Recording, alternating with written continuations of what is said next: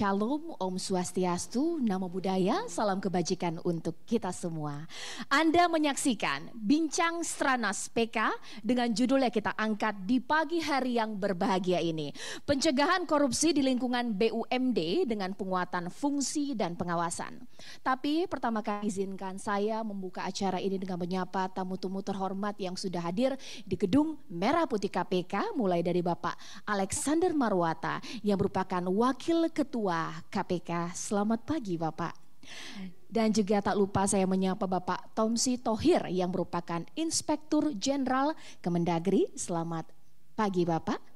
Dan juga Bapak Agus Fatoni, Dirjen Bina Keuangan Daerah Kemendagri.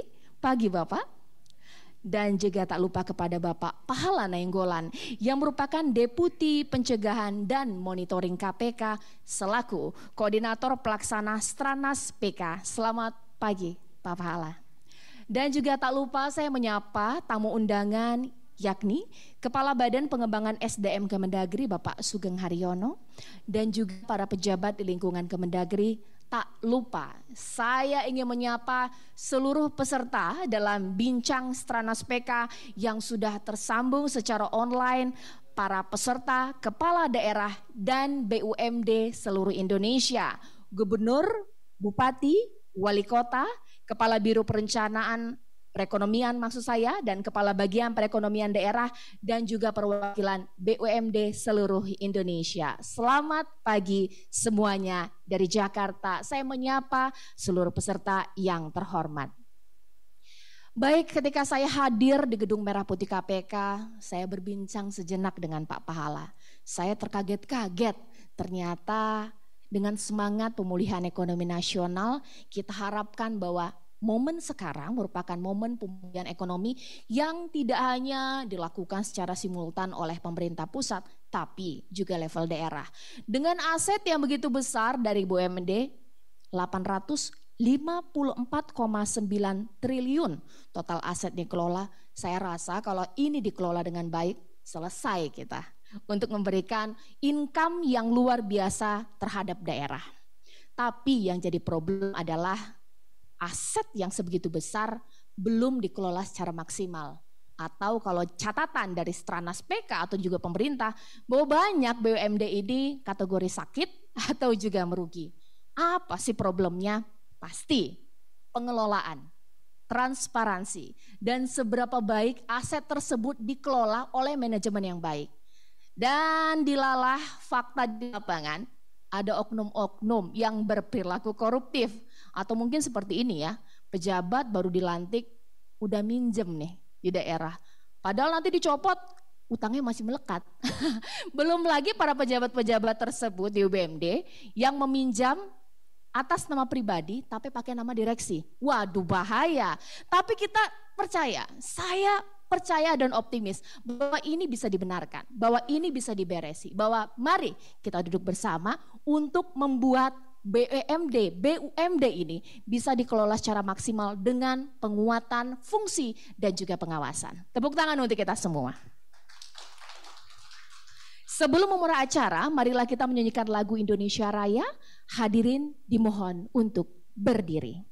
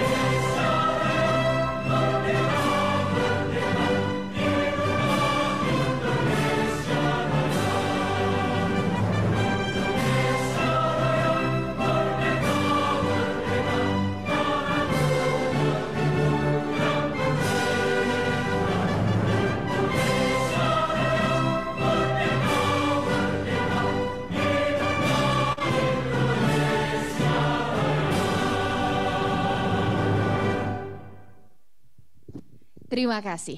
Kita lanjutkan acara kita hari ini. Dipersilakan untuk duduk kembali dan juga untuk seluruh tamu-tamu peserta yang hadir secara online. Saya mungkin mau cerita sedikit ya. Saya kalau ingat waktu saya masih sekolah, saya takutnya itu bukan dengan kepala sekolah. Takutnya itu dengan guru BP. Takut, segen. Nah, mungkin sekarang posisi guru BP itu digantikan oleh KPK. Jadi kalau daerah, kalau ada KPK sudah datang, segan. Saya nggak bilang tak hormat dan pastinya oke okay, kita akan bekerja sama untuk membenahi apa pun dan agar perilaku koruptif tersebut tidak terjadi. Karena tadi saya sudah memberikan pengantar baik kiranya kita akan mendengarkan secara jelas sebenarnya apa yang ingin kita capai di pagi hari hingga siang hari yang berbahagia ini, langsung saja kita akan mendengarkan keynote speech yang akan disampaikan oleh Wakil Ketua KPK, Bapak Alexander Marwata.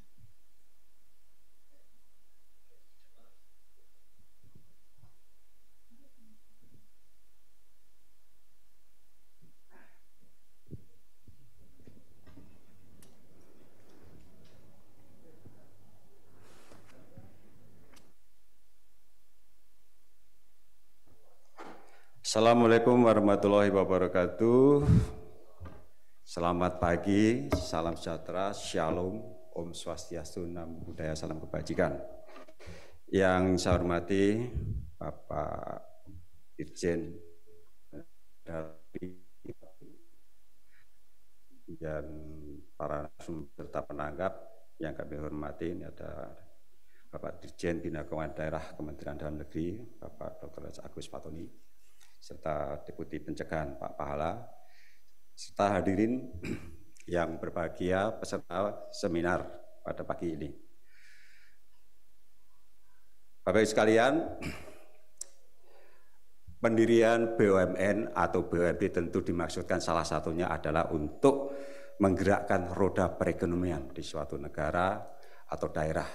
Tujuannya selain itu juga untuk meningkatkan penerimaan negara terutama dari dividen kalau untung perusahaannya dan juga BUMD itu juga kita berharap ada keuntungan yang diperoleh dari pendirian BUMD.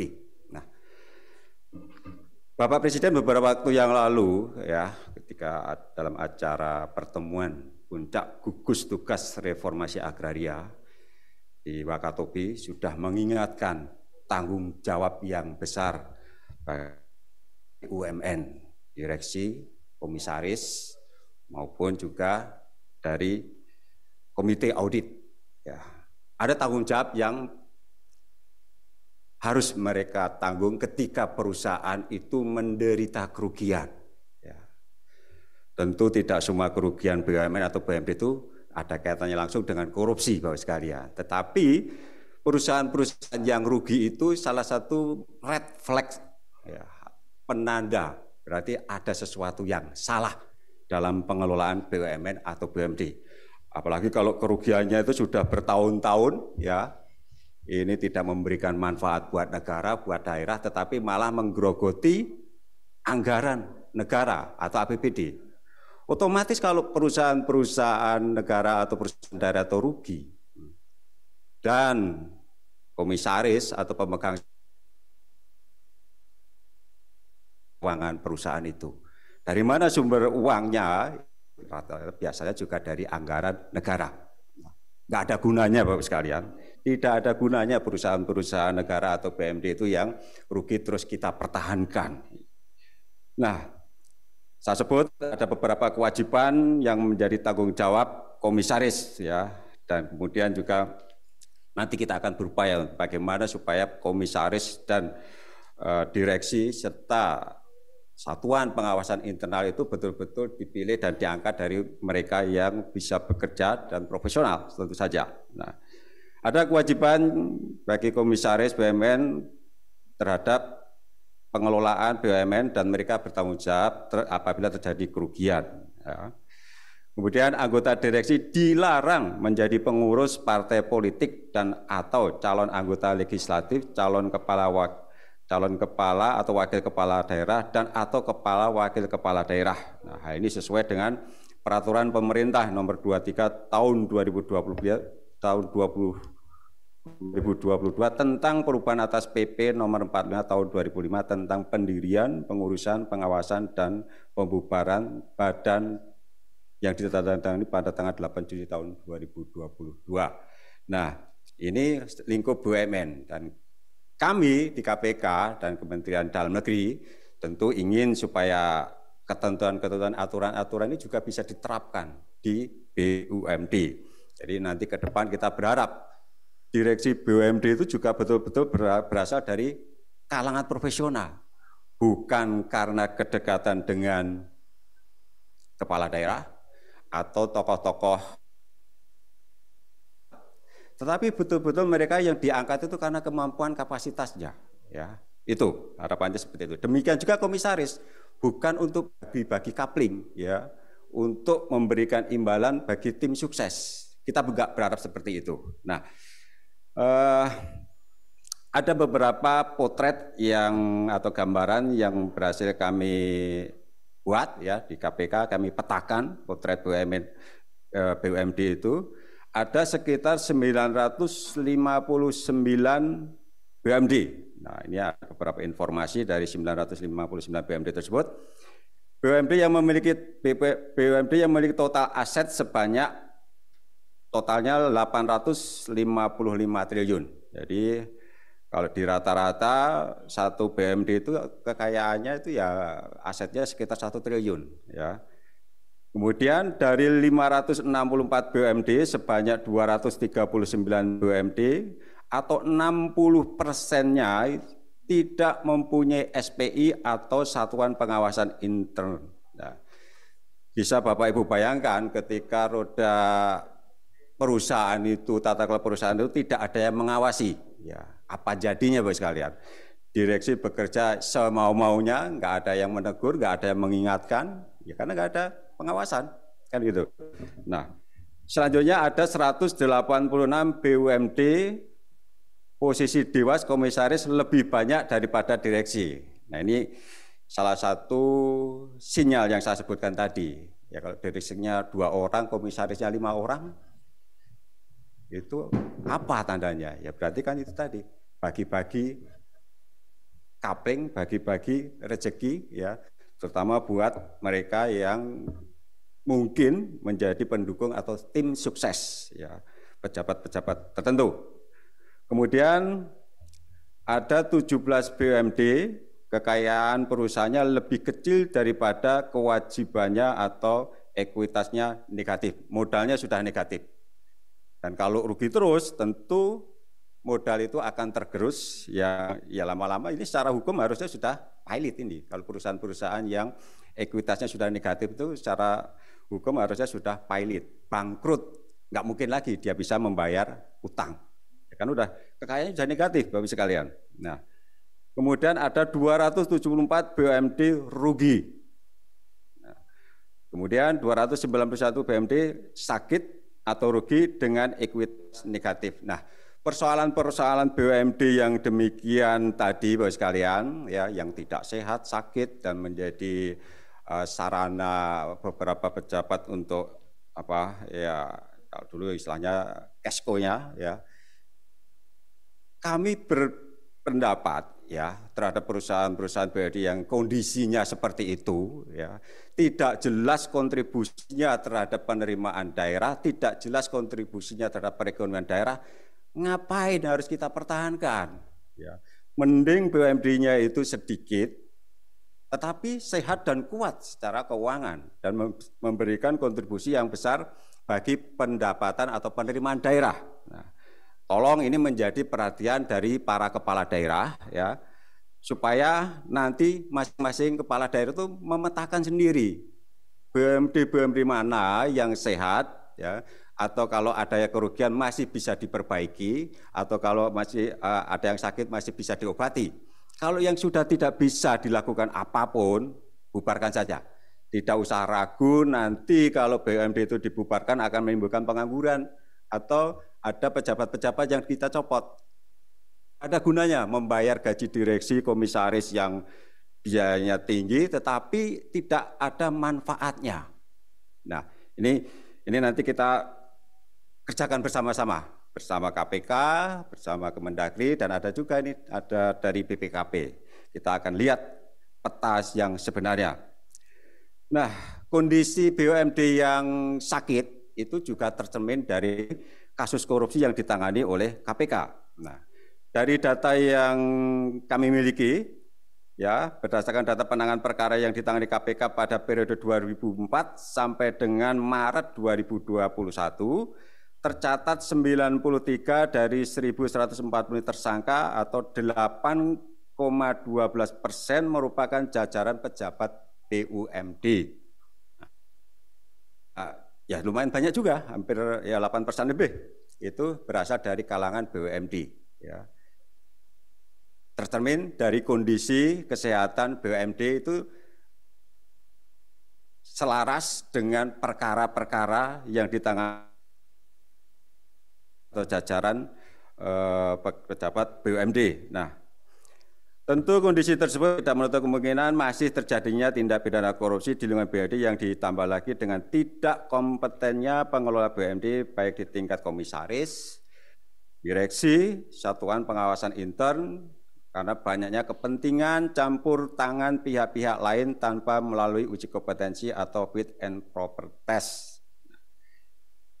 Bapak Ibu peserta seminar yang saya hormati, Stranas Pencegahan Korupsi dengan mandat dari Peraturan Presiden Nomor 54 Tahun 2018 tentang Strategi Nasional Pencegahan Korupsi diharapkan pencegahan korupsi dapat dilaksanakan dengan lebih terfokus, terukur dan berdampak langsung dengan tiga fokus utama yaitu perizinan dan tata niaga, keuangan negara, serta penegakan hukum dan reformasi birokrasi dengan 12 aksi yang telah dilaksanakan dalam periode tahun 2021 sampai 2022.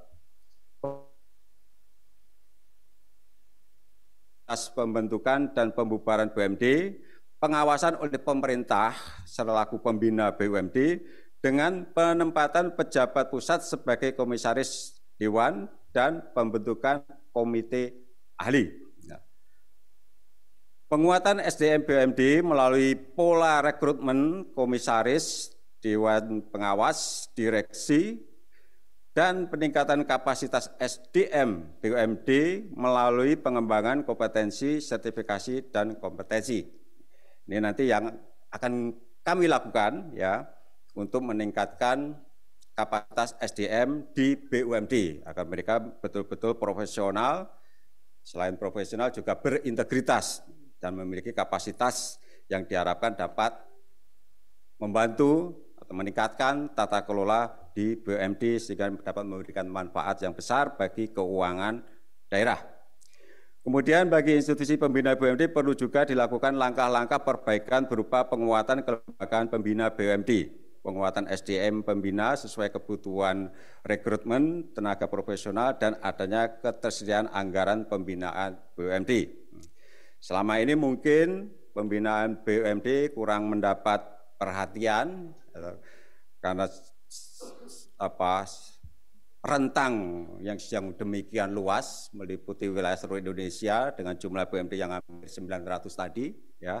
Ini tentu membutuhkan pengawasan yang lebih baik. Nah, Bapak Ibu dan hadirin peserta yang saya banggakan, pelaksanaan aksi ini perlu ada kolaborasi antara Kementerian Dalam Negeri, Kementerian BUMN, dan BPKP, serta masyarakat sipil untuk mencapai output yang sudah ditetapkan.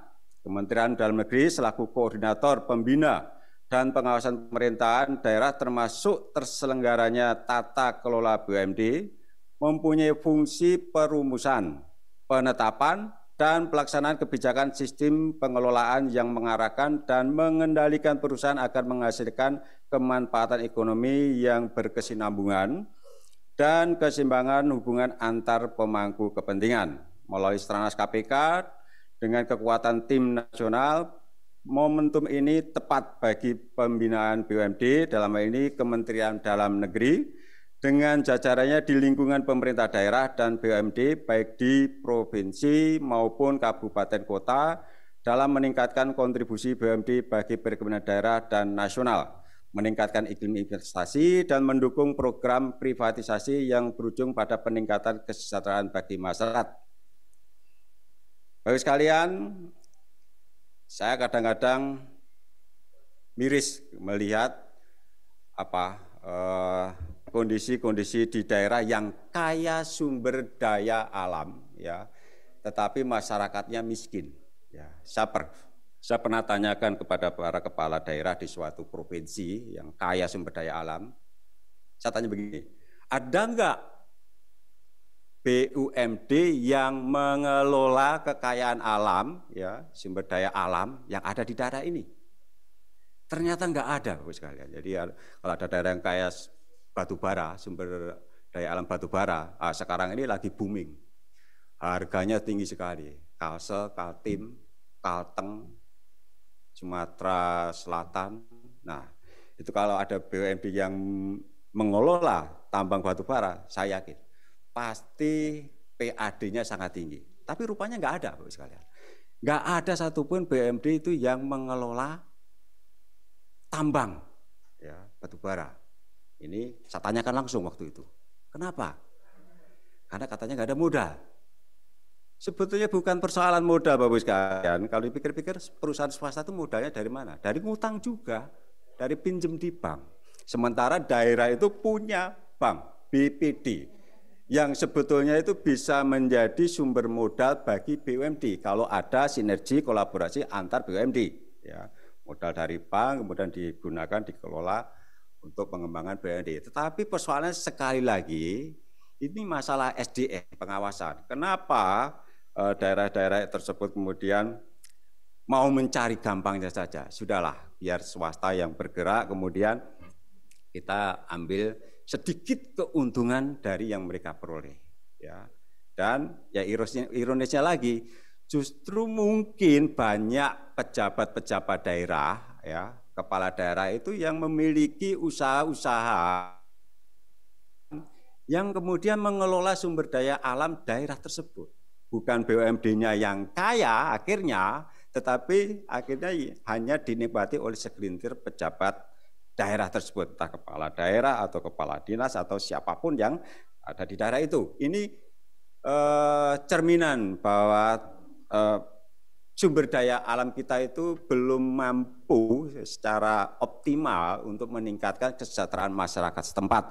Nah, saya berharap BUMD-BUMD yang akan dikembangkan ke depan mungkin atau akan didirikan itu lebih berbasis pada itu tadi kekayaan daerah, potensi daerahnya itu apa, itu yang nanti dikembangkan. Itu pasti akan menghasilkan keuntungan juga buat BUMD sepanjang dikelola dengan benar, profesional, dan tentu saja berintegritas. Harapan kami seperti itu. Baik sekalian, sekali lagi saya berharap dalam forum yang baik ini komitmen para BUMD dan pihak-pihak terkait dapat terwujud untuk mencegah terjadinya tindak pidana korupsi atau tindak pidana lainnya juga, ya, tindak pidana lingkungan, ya, itu kaitannya erat sekali Bapak sekalian dengan pengelolaan sumber daya alam. Demikian Bapak Ibu sekalian peserta webinar pada pagi ini yang saya banggakan atas penyampaian saya. Mudah-mudahan ini menjadi awal untuk perbaikan dan peningkatan tata kelola di BUMD di masa-masa yang akan datang. Kami berkomitmen untuk membantu Bapak Ibu sekalian untuk meningkatkan tata kelola BUMD BUMD. Kami akan bekerja sama berkoordinasi dengan Kementerian Dalam Negeri dan BPKP dalam pelaksanaan eh, tugas-tugas uh, kami ke depan. Terima kasih. Demikian saya sampaikan. Wassalamualaikum warahmatullahi wabarakatuh. Shalom, Om, Santi, Santi, Santi, Om. Selamat siang. Baik, berikan tepuk tangan sekali lagi untuk Bapak Alexander Marwata yang merupakan Wakil Ketua KPK. Kita ucapkan terima kasih untuk keynote speech yang luar biasa di hari ini.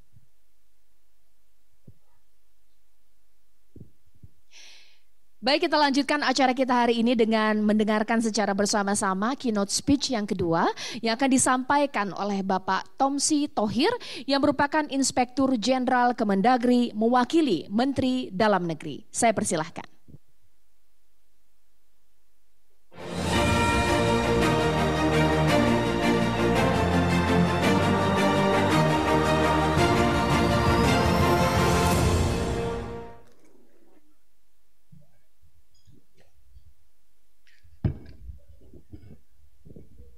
Assalamualaikum warahmatullahi wabarakatuh. Selamat pagi, salam sejahtera. Yang saya hormati Bapak Alex sebagai Wakil Ketua KPK, Gubernur seluruh Indonesia, Bupati, Wali Kota, Deputi KPK, Pak Pahala, teman-teman dari Eselon 1 Kemendagri, Dewan Pengawas, Dewan Pengawas atau Komisaris BUMN, eh, saya ulangi, Komisaris Badan Usaha Milik Daerah atau BUMD, Direksi BUMD, para undangan dan hadirin sekalian yang berbahagia. Dalam kesempatan yang berbahagia ini, izinkanlah saya menyampaikan beberapa pesan dari Bapak Mendagri yang kebetulan hari ini ada kegiatan yang tidak bisa ditinggalkan. Dalam kesempatan yang berbahagia ini, marilah kita panjatkan puji syukur kehadirat Tuhan Yang Maha Esa. Dengan rahmat dan kasih sayangnya kita berkumpul dalam keadaan sehat walafiat.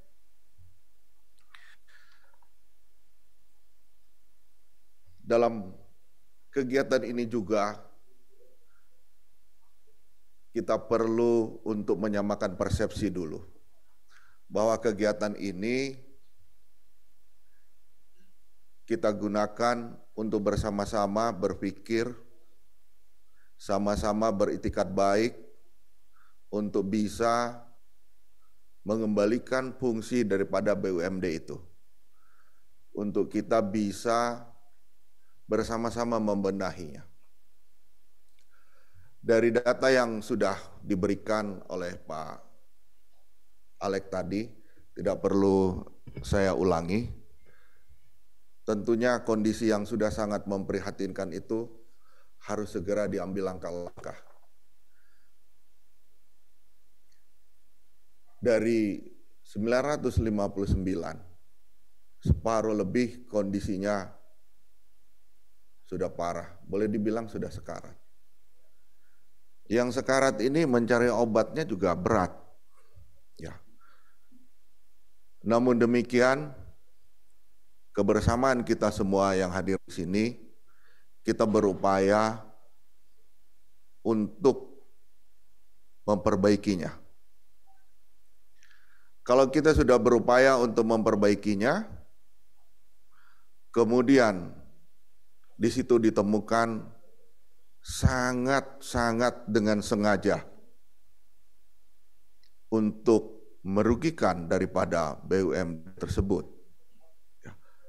Tentunya dengan berat hati, ya, kita juga harus memahami bahwa di negara ini juga ada aturan-aturan yang harus kita patuhi bersama. Dalam kelanjutan kegiatan ini, APIP bersama-sama dengan teman-teman dari KPK dan BPKP akan melakukan pengawasan terhadap BUMD tersebut. Akan melakukan upaya-upaya mensupport perbaikan-perbaikan. Namun demikian, kalau betul-betul pada saat ditemukan nanti kesengajaan yang memang sangat-sangat terasa, sangat-sangat kasat mata, ya, merugikan keuangan negara tersebut, kembali lagi dengan berat hati, maka kita akan menyerahkan permasalahan ini kepada aparat hukum.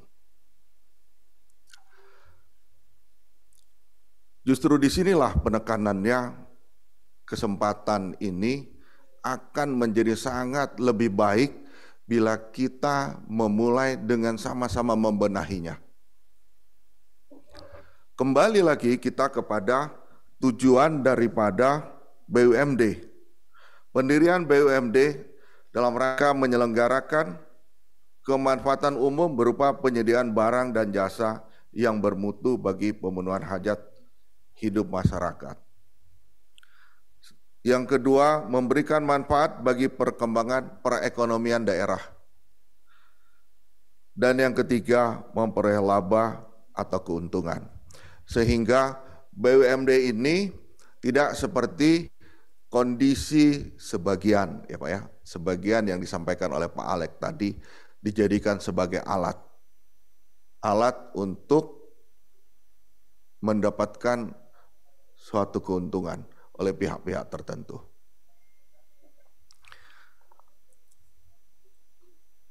Dengan berniat mengembalikan fungsi daripada BUMD tersebut,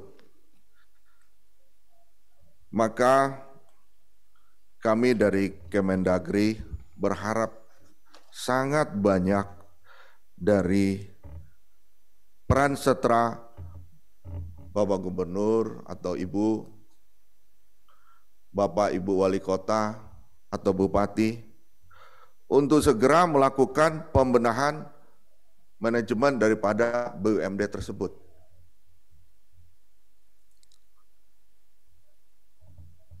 Antara lain dalam hal BUMD yang memiliki empat orang Dewan Komisaris agar melaporkan kepada pemerintah. Kemudian mendorong BUMD membentuk dan menjalankan fungsi satuan pengawas internal. Melakukan koordinasi dengan semua pihak untuk menciptakan peluang bagi pengembangan BUMD tersebut. Memperkuat pengembangan sumber daya manusia, baik itu dewas, atau direksi dan pegawai BUMD. Apa yang saya sampaikan ini juga sejalan dengan yang disampaikan oleh Pak Alek ya. Sudah waktunya kita untuk berbenah. Sudah waktunya juga kita secara transparan di mana saat-saat seperti ini peran serta BUMD dengan aset yang jumlahnya signifikan tersebut sangat dibutuhkan di mana kondisi-kondisi ekonomi kita baik global ya maupun di daerah-daerah juga sangat-sangat memerlukan masukan tambahan ya sebagai PAD. Tentunya fungsi ini harus kita kembalikan lagi, kita fokus ke situ dan diharapkan nantinya BUMD ini yang pertama tidak ada yang merugi. Secara teorinya BUMD dari APBD kemudian mendapatkan kemudahan kemudahan fasilitas kemudian secara logikanya seharusnya diawaki oleh orang-orang yang berkualitas. Tidak seperti perusahaan-perusahaan yang biasa yang lain. Sehingga kembali lagi secara logika tidak mungkin merugi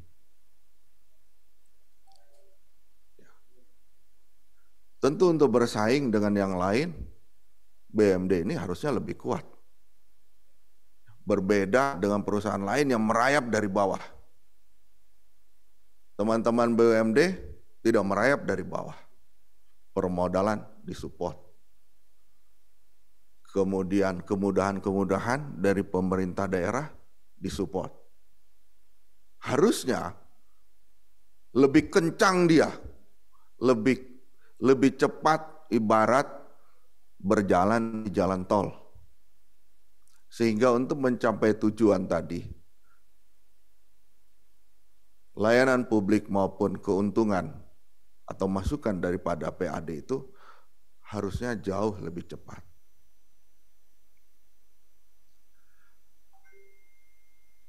Dari hal tersebut, tidak ada alasan.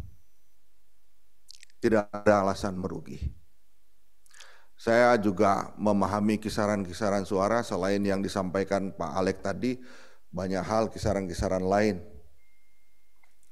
Keluhan-keluhan teman-teman BUMD. Oleh sebab itu, kembali lagi sangat diharapkan fokus perhatian dari Bapak dan Ibu sebagai kepala daerah untuk pembenahan ini. Demikian yang saya sampaikan. Lebih kurangnya mohon maaf. Terima kasih kepada teman-teman BUMD sampai bertemu dengan tim kita dari sini. Mudah-mudahan dengan kebersamaan kita, kita bisa memperbaiki, merubah, dan dengan ridho daripada Tuhan Yang Maha Esa, semuanya dapat berjalan sesuai tujuan. Wassalamualaikum warahmatullahi wabarakatuh. Selamat siang. Tepuk tangan sekali lagi untuk Bapak Tom Sitohir yang merupakan Inspektur Jenderal Kemendagri mewakili Menteri Dalam Negeri.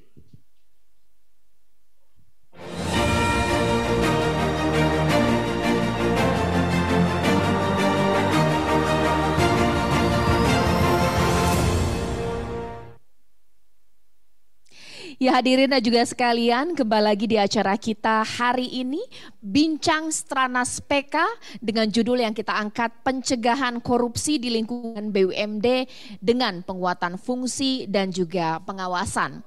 Kalau tadi kita sudah menyaksikan secara bersama-sama apa yang disampaikan oleh Wakil Ketua KPK Pak Alex ketika sebuah BUMD atau beberapa BUMD merugi, ataupun juga dalam sentimen ekuitas negatif ini sudah menjadi catatan lampu merah atau red flag. Bahkan ditegaskan lagi oleh Pak Tom Sitohir, BUMD merugi gak boleh dengan berbagai macam kelebihan dan juga hal yang seharusnya membuat mereka untung, sudah bisa dipastikan BUMD sudah sewajibnya memberikan pemasukan yang luar biasa untuk daerah. Untuk itulah kita akan membahasnya lebih lanjut. Kalaulah kita ingin sesuai dengan judul kita, bagaimana mengawal BUMD ini bisa maksimal pengelolaan asetnya dan menekan tindak perilaku koruptif yang terjadi di daerah bahkan juga BUMD. Langsung saja saya akan panggilkan narasumber saya yang pertama dalam sesi diskusi kita kali ini yang yakni Bapak Pahala Nenggolan yang merupakan Deputi Pencegahan dan Monitoring KPK selaku Koordinator Pelaksana Stranas PK. Saya persilahkan dengan segala hormat.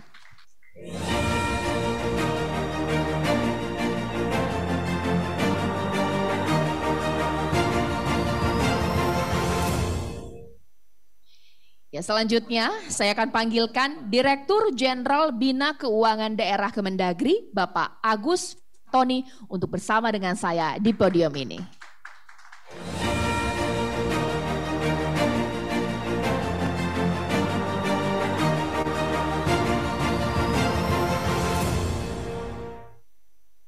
Baik, hadirin dan juga pemirsa sudah bersama dengan saya di sini. Pak Pahala, Bapak Agus, Kalaulah tadi Pak Alex sudah menyampaikan prolog dengan keynote speech yang luar biasa, bahkan ditegaskan juga dengan luar biasa oleh Pak Tomsi, sekiranya kalau kita mau mengawal, mau membenahi, mau mengawasi, mau menguatkan BUMD, Mulai dari mana ya? Langsung saja saya akan persilakan untuk pemaparan yang pertama di sesi kita hari ini Bapak Paela Nenggolan yang merupakan Deputi Pencegahan dan Monitoring KPK dan juga Koordinator Pelaksana Stranas PK untuk menyampaikan sampaian dan juga paparannya. Dipersilahkan. Terima kasih Mbak Caca. Uh, Assalamualaikum warahmatullahi wabarakatuh. Selamat pagi, salam sehat, salam sejahtera untuk kita semua. Wakil Ketua KPK yang saya hormati sebagai anggota dari Tim Nasional Stranas, Pak Tomsi, Irjen Kemdagri, ini juga mewakili Mendagri yang juga Tim Nasional Stranas, Pak Faoni rekan saya, rekan mikirin BUMD sekarang Pak, gitu. Pak Sugeng, uh, Pak Indra dari BPKP ini yang hadir di sini, Pak Budi yang Direktur BUMD, BMD dan BLU. Nah, jadi nanti saya ceritakan nih kenapa kenapa jadi Pak Budi pusing urusan BUMD. Dan saya yakin eh, di acara kali ini juga eh, kepala daerah yang saya hormati, Bapak Ibu Gubernur, Bapak Ibu Wali Kota, Bupati sebagai pemegang saham dari BUMD, demikian juga direksi BUMD, jajaran direksi BUMD, dan jajaran komisaris atau dewan pengawas yang saya muliakan. Bapak Ibu sekalian, sedikit background acara ini, mungkin Bapak Ibu kaget tiba-tiba diundang ikut di acara uh, membicarakan BUMD. Jadi mungkin ini saya izin Pak Fatoni, ini mungkin baru pertama kali ya semua BUMD dikumpulin gitu, walaupun pakai Zoom gitu, tapi uh, ada poin yang kita ingin sampaikan gitu. Sekitar minggu lalu kami dari tim Stranas menghadap ke Bapak Mendagri bersama dengan Ketua KPK kita ceritakan capaian-capaian Strana, salah satunya adalah penguatan APIP. Dan APIP itu dibagi lagi, APIP pusat, APIP daerah, SPI di BUMN, serta SPI di BUMD. Nah giliran BUMD lah baru kelihatan gitu bahwa jumlahnya pun Pak Fatoni kumpulkan semua jumlah dan statusnya. Kita bilang kalau lihat asetnya udah 800 sekian triliun, seharusnya itu kita bilang kan lima kali aset lah harusnya ekonomi yang bisa digerakkan kira-kira gitu. Jadi sebenarnya bisa sekitar 4.000 triliun. Dan kalau buat daerah ini besar bener gitu ya. Nah oleh karena itu kita bilang ini potensi yang luar biasa. Hanya eh, Pak Mendagri segera bilang gitu, kumpulkan semua BUMD, saya mau kasih arahan bahwa mulai sekarang lewat Stranas dan Kemdagri sebagai salah satu anggota tim nasional gitu, kita akan optimalisasikan BUMD. Jadi tujuannya persis seperti Pak Irjen dan Pak Alex bilang, satu dia harus bikin untung, kedua dia harus pelayanan publik. Kalau kebanyakan pelayanan publiknya untungnya susah, ganti jadi BLUD, kan gitu ya. Tapi kalau disebut BUMD dia harus bikin untung. Oleh karena itu, Bapak Ibu sekalian, peserta webinar kali ini, kita juga terkejut di pusat gitu ya. Pertama asetnya besar tapi kondisinya tidak seindah asetnya itu ya Pak Pak Fatoni ya gitu. Jadi kita coba lihat seperti apa kira-kira program pembenahan kita ke depan. Yang pertama dari aset yang besar tentu aja kita ingin ini dioptimalkan buat ekonomi daerah gitu. Yang kedua kita bilang yang tidak punya pengawasan harus ada pengawasannya. Yang ketiga tidak boleh komisarisnya lebih besar dari direksinya. Masa yang ngawasin lebih banyak dibanding yang kerja gitu kan. Bingung juga yang kerja. Dan seperti Pak Alex bilang yakin kita nih kalau yang lebih banyak nih banyakkan titipannya daripada yang mau kerja gitu. Kita bilang nitip boleh aja kalau kompeten gitu ya. Jadi jadi direksi dititip boleh, jadi komisaris boleh, tapi yang kompeten gitu ya. Jangan jangan cuma menu-menuin makan gaji aja gitu ya. Kita bilang gitulah kira-kira. Dan yang sekarang kita sampai ke yang paling pahit gitu ya. Kalau ekuitas sudah negatif artinya utangnya udah lebih banyak dibanding asetnya, dibanding modalnya. Jadi kalau modalnya dihabiskan pun tetap nggak bisa bayar hutang. Kita bilang segera diambil putusan. Ini masih ada waktu ya Pak Fatoni ya. Pak Fatoni nanti akan keluarkan surat edaran nih. Gimana caranya membenahi BU, BUMD. Jadi edarannya dari Mendagri sambil menunggu Permendagrinya direvisi. Ya, ada dua Permendagri dan satu PP yang akan direvisi gitu, tapi sambil jalan, mari Bapak Ibu Kepala Daerah sebagai pemegang saham BUMD yang 100%. Mari mulai dibenahi. Gitu. Yang ekuitasnya negatif, mohon direview segera. Ini masih bisa diselamatkan apa enggak? Kalau enggak, segera ditutup. Nanti Pak Irjen ngelihat sisanya. Apakah ini negatifnya karena memang strukturnya negatif atau ada orang yang membuat negatif gitu kan. Jadi kita bilang kalau BUMD menjalankan proyek atau investasi yang tidak visible dari awal udah kelihatan tidak visible, itu kita bilang yang Pak Irjen bilang memang dari awal kesengajaannya udah ada. Dan yang rugi mohon dilihat juga. Jadi yang satu yang dilihat ekuitas negatif, yang dua yang rugi. Gitu. Apakah rugi karena struktur pendapatannya atau inefisiensi dan segala macamnya. Tapi yang paling fokus adalah yang rugi dan ekuitasnya negatif, apalagi komisarisnya lebih besar dari direksinya. Nah, kalau tiga-tiga itu terpenuhi, saya rasa itu prioritas pertama untuk diambil keputusan. Nah pada, set, eh, pada slide yang berikutnya, Uh, kita lihat juga Bapak Ibu sekalian bahwa sebaran BUMD ini yang besar kalau dibilang provinsi gitu, kita lihat memang di Jawa gitu. Jadi Bapak Ibu sekalian mungkin ini data dari uh, Kemdagri gitu ya. Dari asetnya ini yang besar di Jawa, di Sumatera dan seterusnya. Tapi sekali lagi ini data global saja gitu ya bahwa sebenarnya kalau asetnya besar pun gitu ya tergantung bagaimana menggunakannya kan aset besar bukan jaminan. Sekali lagi BUMD yang dicari adalah kontribusi PAD yang besar. Itu di samping pelayanan publik yang harus bisa dilaksanakan. Gitu. Pada slide berikutnya kita gambarkan juga bagaimana selain sebaran aset gitu, ternyata banyak gitu provinsi, 20 provinsi gitu, komisarisnya masih lebih besar dibanding direksinya. Jadi pilihannya dua gitu.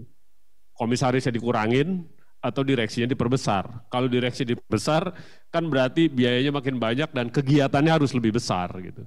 Nah hanya 14 provinsi lah yang agak-agak sehat, agak-agak waras gitu. E, direksinya lebih kecil dibanding e, komisarisnya. Eh, di, komisarisnya lebih kecil dibanding direksinya. Dan Bapak Ibu sekalian kita lihat di sini jumlahnya gitu.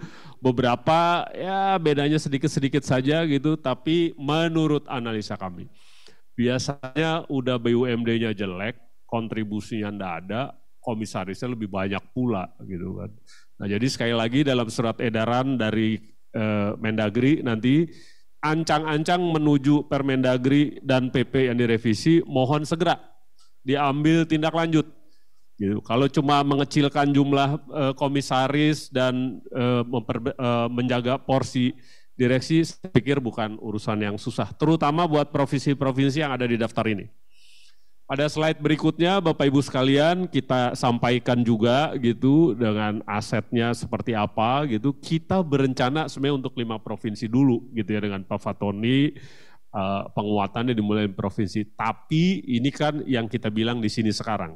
Nanti tergantung gimana kondisinya di lapangan, tapi kita akan masuk ke provinsi di mana BUMD-nya besar, asetnya besar, tapi yang sakit juga banyak. Gitu ya. Kita lihat di sini misalnya nih Sumut ada 41 triliun asetnya gitu, komisaris dibanding direksi lumayan gitu, tapi ada 19 BUMD yang merugi. Kami akan membantu Bapak Ibu sekalian kepala daerah gitu untuk memutuskan kira-kira merugi ini seperti apa. Sekali lagi kita tidak melihat merugi ini secara sederhana, bahwa perusahaannya pasti korup, enggak juga gitu. Tapi kita akan lihat satu-satu seperti apa gitu dan kira-kira apa yang bisa dilakukan.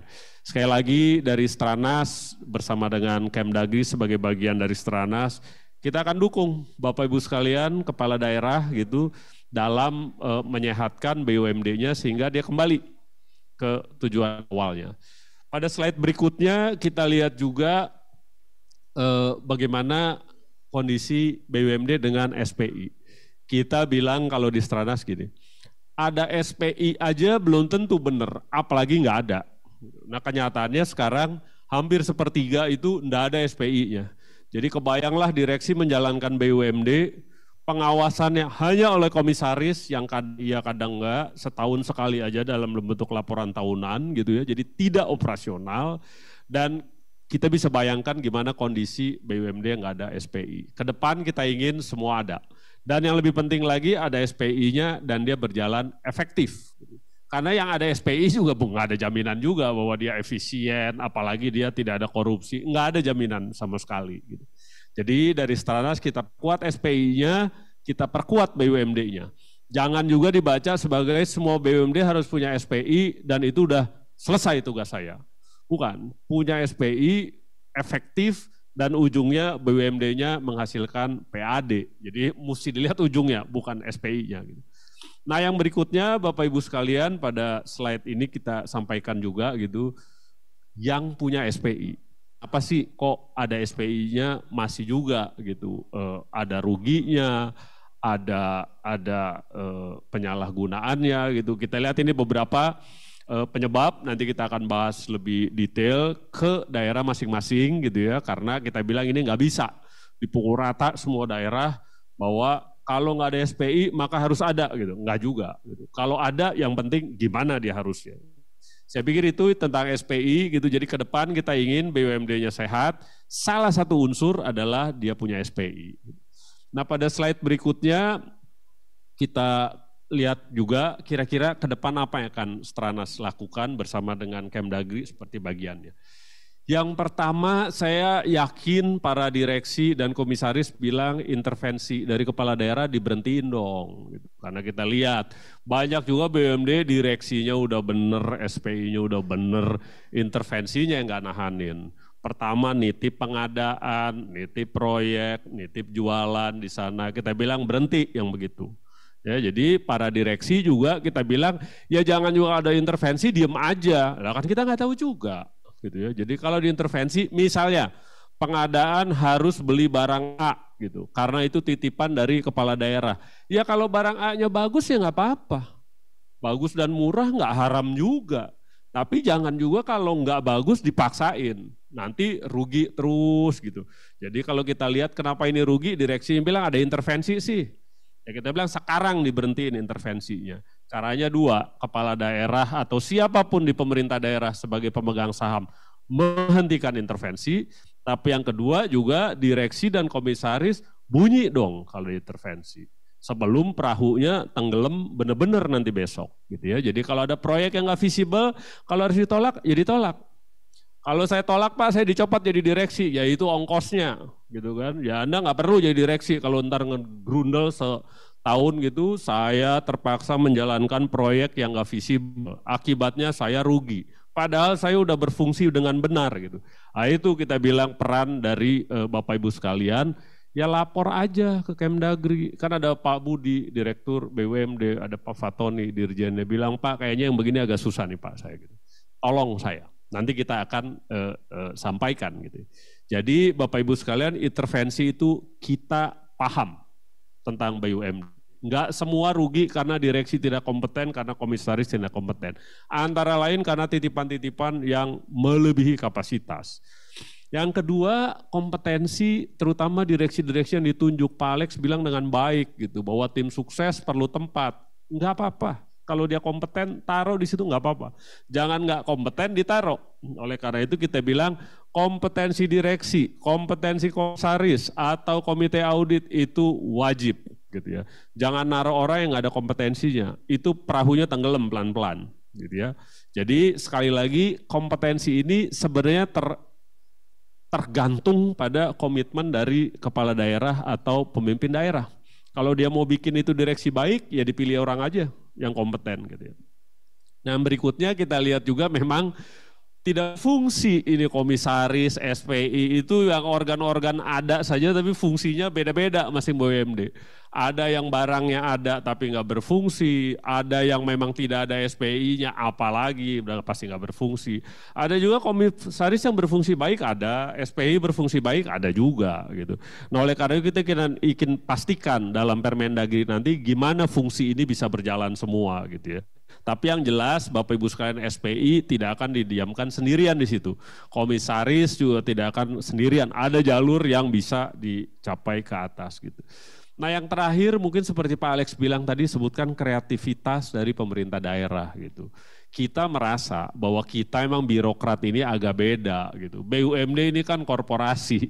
Oleh karena itu dengan Pak Fatoni kita bilang kayaknya kita harus punya komite ahli nih Pak gitu yang bisa menggait kira-kira bisnis mana yang menguntungkan, bisnis mana yang enggak karena alam pikir birokrat agak beda dengan alam pikir di korporasi.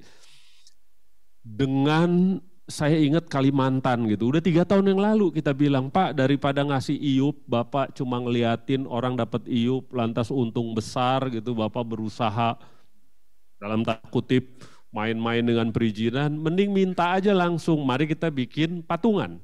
Dan sudah hampir terjadi gitu di Kalimantan, BUMD patungan dengan BUMN. Dan itu aturannya boleh untuk pengelolaan iup tambang waktu itu. Ya kita bilang bikin aja perusahaan patungan, BUMN untuk produksi dan pemasaran, BUMD-nya untuk eh, pengelolaan operasional, perizinan dan SDM. Dari situ pasti dapat untung. Nah, waktu itu modalnya dari mana? Kita undang juga Asbanda Pak waktu itu. Coba Asbanda kira-kira kalau ngasih modal buat BUMD yang bisnisnya pasti begini gimana gitu. Ya BPD siap aja, saya bilang berapa kapasitas pinjaman dari BPD. Kita konsorsium se-Indonesia juga bisa Pak. Sekali lagi kreativitas pemerintah daerah yang kita tunggu gitu ya. Artinya ya pemerintah daerah kalau ada yang bisa dilakukan lewat BUMD ya dilakukan. Daripada main-main perizinan yang dapat cuma personal. Tapi kalau BUMD dia dapat secara institusi atau persis yang Pak Alex bilang, individu main pengelolaan SDA tapi bukan buat BUMD. Itu yang sekarang terjadi. Oleh karena itu kreativitas ini kita akan dukung dari pusat dalam bentuk komite ahli yang akan melihat di tiap daerah kira-kira potensi apa yang bisa. Pak Tomsi bilang dengan benar gitu. BUMD udah nyari modalnya gampang. Anda tinggal duduk aja udah penempatan kan. Gitu. Nyari pinjaman ada BPD, nyari otoritas juga izin nggak perlu susah-susah. Anda mau masuk pasar silakan kelola pasar, nggak akan ada yang protes. Siapa juga yang mengelola pasar misalnya atau terminal atau apa pun itu. Nah oleh karena itu kita bilang eh, BPD pada saat yang sama kita bilang kemampuan untuk uh, pendanaannya harus diperluas. Saya selalu bilang dengan Asbanda jangan cuma kredit panci atau motor aja buat PNS, yang lain dong lebih kreatif dikit gitu ya. Kita bilang pengelolaan sampah kita pernah dorong ke BPD. Udah jelas off takernya ada PLN kok mau beli sampah yang diolah. Masalahnya Pemda nggak punya uang untuk bikin unit pengolahan. Dia visible, visible tapi financingnya nggak ada. Kita undang malah SMI yang kita tahu bunganya lebih besar. Padahal BPD ada di situ. Nah yang kira-kira kreativitas ini sekali lagi kita siap dukung Mbak. Jadi kita harapkan dengan penguatan BUMD ini bukan hanya pencegahan korupsinya aja. Jangan kalau nggak korupsi tapi bangkrut, sama juga gitu. Mending untung tapi nggak ada penyalahgunaan. Itu yang kita cari sebenarnya. Jangan juga untung tapi sebenarnya bisa lebih besar untungnya. Jangan kalau udah untung bilang saya kan udah untung pak, nggak ada urusan dengan ginian. Enggak, enggak, enggak, kita yakin bisa lebih besar. Misalnya begitu. Oleh karena itu di tempat Pak Fatoni juga sudah disiapkan gitu eh, serangkaian pembenahan gitu. Jadi fungsi pembinaannya akan lebih kuat gitu. Kita akui selama ini memang masih kurang optimal. Jadi Bapak Ibu sekalian eh, BUMD di daerah memang berjalan ya berjalan aja gitu kan.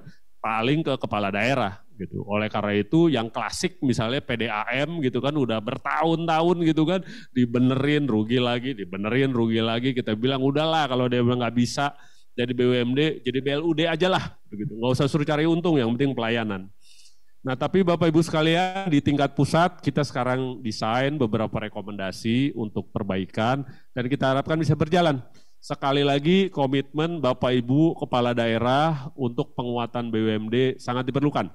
Kalau nggak komit, pengalaman sih kita dorong-dorong kayak apa juga Pak Fatoni. Ada aja alasannya nanti kan. Inilah itulah intinya nggak bahagia dia dengan perbaikan BUMD. Oleh karena itu kami di Stras ini di mana Dagri ada di dalam akan memulai program penguatan ini. Yang endingnya adalah BUMD-nya menghasilkan untung dan pelayanan publik serta operasionalnya sehat gitu. Ada nanti yang harus ditutup ya silakan tapi surat edaran mohon dijadikan panduan. Karena kita akan coba di surat edaran itu lebih detail apa yang harus dilakukan kepala daerah sebagai pemegang saham dari BUMD.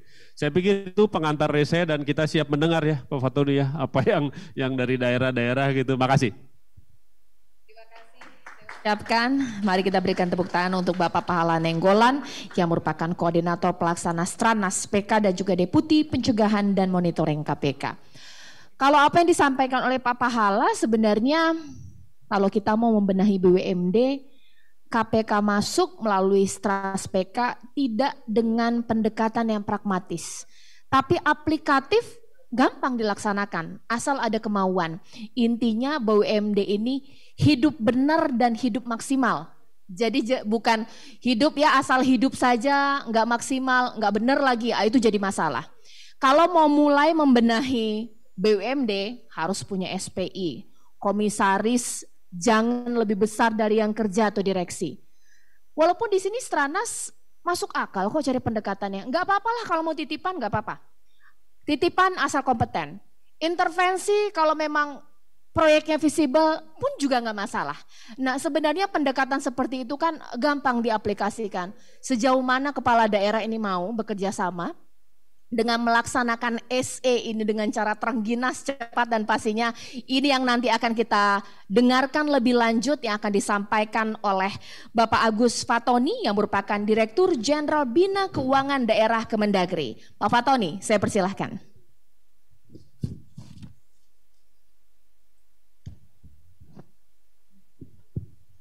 Baik, terima kasih. Assalamualaikum warahmatullahi wabarakatuh. Selamat pagi, salam sejahtera untuk kita semua. Om Swastiastu, nama budaya, salam kebajikan. Yang terhormat Bapak Wakil Ketua KPK Pak Alexander Marwata, Pak Irjen Kemendagri, Pak Tomsi Tohir yang hadir pada kesempatan hari ini. Kami mengucapkan terima kasih kepada Stranas PK yang mensupport pemenahan dan pembinaan BUMD dikomandani oleh Bapak Deputi Pencegahan dan Monitoring Pak Pak Nainggolan, juga terima kasih kepada Pak Dirjen Bangda, Kepala BPSDM Kemendagri yang hadir juga bersama-sama dengan kita. Terima kasih juga Pak Direktur BUMD BPKP, Pak Direktur BUMD BLUD dan BMD Kemendagri dan juga hadir Direktur Perencanaan Anggaran Kementerian Dalam Negeri. Eh, kami juga terima kasih atas komitmen seluruh kepala daerah yang hadir secara virtual dengan seluruh sekretaris daerah, dan juga seluruh direksi, dewan komisaris dan pengawas, dan juga uh, seluruh jajaran yang ada di BUMD termasuk juga kepala biro dan kepala bagian perekonomian. Ini semua komitmen kita bersama uh, untuk meyakinkan agar BUMD yang dibuat dengan tujuan mulia ini bisa berjalan dengan sebaik-baiknya. Bapak Ibu yang kami hormati, Bapak Ibu Gubernur, Bupati Wali Kota yang hadir, dasar hukum sudah cukup kuat untuk bisa menjalankan BUMD ini. Ada Undang-Undang 23 tahun 2014 tentang pemerintahan daerah. Di situlah yang mengamanatkan bahwa perlu dibentuk badan hukum BUMD. Baik itu terdiri dari perusahaan umum daerah atau perumda maupun perusahaan perseroan, perseroan eh, daerah atau perseroda. Dasar hukumnya sudah jelas ada juga uh, di dalamnya juga uh, payung hukum yang sudah bisa digunakan dan sudah cukup lama yaitu peraturan pemerintah nomor 54 tahun 2017 tentang BUMD ini menjadi pedoman bersama. Dan ada yang lebih teknis lagi yaitu peraturan Menteri Dalam Negeri yaitu Permendagri nomor 37 tahun 2018 di situ mengatur tentang pengangkatan, pemberhentian, dewan, anggota dewan pengawas dan anggota komisaris termasuk juga direksi. Dan juga sudah ada Permendagri 118 tentang rencana bisnis, rencana kerja dan anggaran, kerjasama pelaporan dan juga evaluasi BUMD yang menyebutkan bagaimana BUMD itu harus dikelola. Nah ini yang tadi disampaikan oleh Pak Pahala, ini juga dari sisi regulasi juga akan diperkuat, kita akan lakukan pemenahan-pemenahan. Tujuan BUMD sangat mulia, seperti disebutkan di dalam Undang-Undang 23 dan juga di dalam PP dan Permendagri, tujuan BMD BUMD antara lain adalah menyelenggarakan kemanfaatan umum di mana harus menyediakan barang dan jasa yang memang dibutuhkan oleh masyarakat. Kemudian yang kedua, memberikan manfaat bagi perkembangan perekonomian daerah. Saat ini kondisi kita sedang inflasi, kemudian kita juga cukup terpukul dengan COVID-19.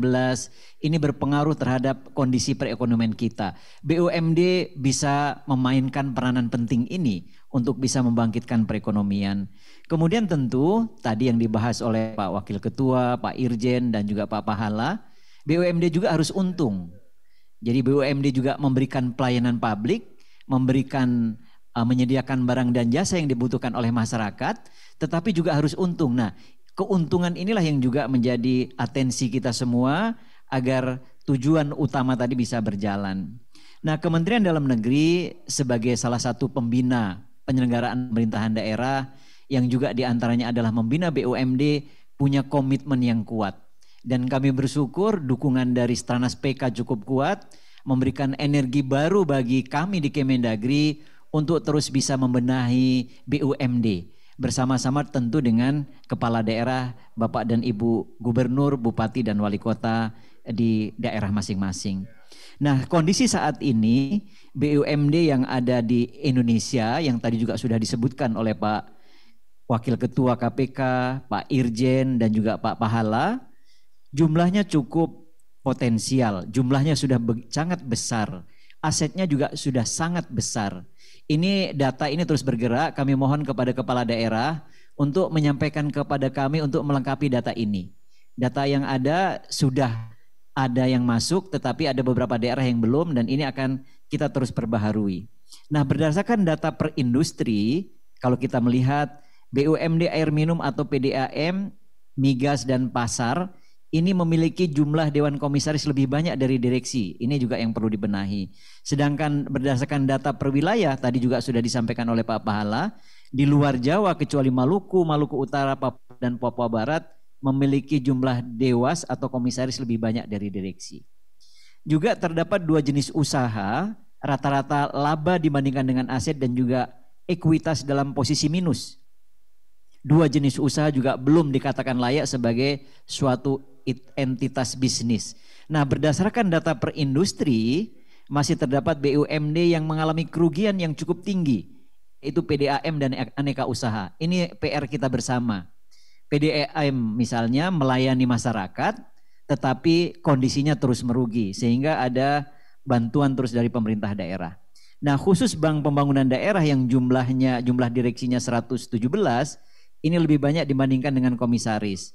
Dan ini sudah sesuai. Ini tentu bisa dilakukan penguatan-penguatan di dalam terus mendorong agar BPD ini bisa lebih untung tetapi juga menggunakan prinsip-prinsip pengelolaan perusahaan yang baik. Nah, perkembangan dana pihak ketiga posisi pada posisi tahun 2021 sebesar 67 triliun dibandingkan kredit yaitu sebesar 512,2 triliun yang disalurkan ini menggambarkan cukup efektifnya fungsi intermediari. Untuk DPK dan kredit masih dikuasai oleh Bank Jabar Banten ini yang dominan. Perkembangan rasio kecukupan modal atau KAR tingkat pengembalian dari pengelolaan aset, kredit macet dalam posisi yang positif sehingga dapat dikatakan Bank Pembangunan Daerah berkinerja baik. Jadi dari BUMD yang ada yang memang sebagian besar atau bahkan seluruhnya menguntungkan itu BUMD. Nah, maaf, BPD maksud saya. BUMD yang menguntungkan itu BPD. Sementara yang lain ada yang menguntungkan tapi lebih banyak yang merugi. Berdasarkan data, PDAM mengalami full cost recovery atau VCR baru 36 persen. Untuk itu komitmen kepala daerah sangat diperlukan untuk mendorong agar PDAM ini bisa sehat.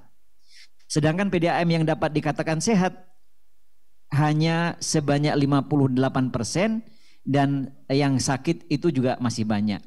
Terdapat juga 10 BUMD air minum dengan jumlah pelanggan terbesar yaitu cakupannya cukup luas. Ini ada beberapa kalau kita lihat di ada di paparan. Di sisi lain juga terdapat 10 BUMD yang air minum dengan jumlah pelanggan terkecil, cakupan cukup kecil. Ini juga bisa kemudian diperkuat lagi. Dengan memperhatikan data yang ada, dapat dikatakan bahwa penghasilan pegawai PDAM rata-rata masih di atas, di, di atas sudah di atas upah minimum. Ini tentu mengembirakan dari sisi penghasilan. Namun berdasarkan data jumlah pelanggan dan laba yang dihasilkan, dapat dikatakan bahwa skala ekonomi memegang peranan penting. Pelanggan merupakan kunci dari pemasukan BUMD. Nah, oleh karena itu Bapak dan Ibu, Bapak Ibu Kepala Daerah, Gubernur Bupati Wali Kota dan seluruh direksi, juga jajaran komisaris dan dewas, ada beberapa hal yang perlu kita benahi, perlu terus kita lakukan di dalam penguatan, pembinaan, pengawasan dan pengelolaan BUMD. Yang pertama, daerah perlu melakukan perubahan bentuk perusahaan daerah, Perusda, menjadi BUMD dengan alternatif bentuk hukumnya Perumda atau Perseroda. Silahkan untuk dilakukan perubahan bentuk. Kemudian untuk bank daerah BPD perlu dipenuhi modal inti sebesar 3 triliun sesuai dengan amanat peraturan perundang-undangan pengaturan tentang eh, BPD ini sampai dengan tanggal 31 Desember 2024. Jadi uh, gubernur, bupati, wali kota sebagai sebagai pemegang saham bisa memperkuat modal inti ini sampai dengan 3 triliun di masing-masing BPD. Kemudian juga memperkuat permodalan dan melakukan inovasi program yang mendukung UKM bagi bank perkreditan rakyat yang dimiliki oleh daerah. Daerah cukup banyak memiliki BPR, oleh karena itu ini perlu diperkuat permodalannya dan juga terus melakukan inovasi program-programnya dalam khususnya dalam mendukung UMKM. Kemudian bagi gubernur ini dapat menyiapkan surat keputusan gubernur mengenai tarif batas uh, batas atas dan tarif batas bawah bagi BUMD air minum sebagai pedoman bagi seluruh PDAM.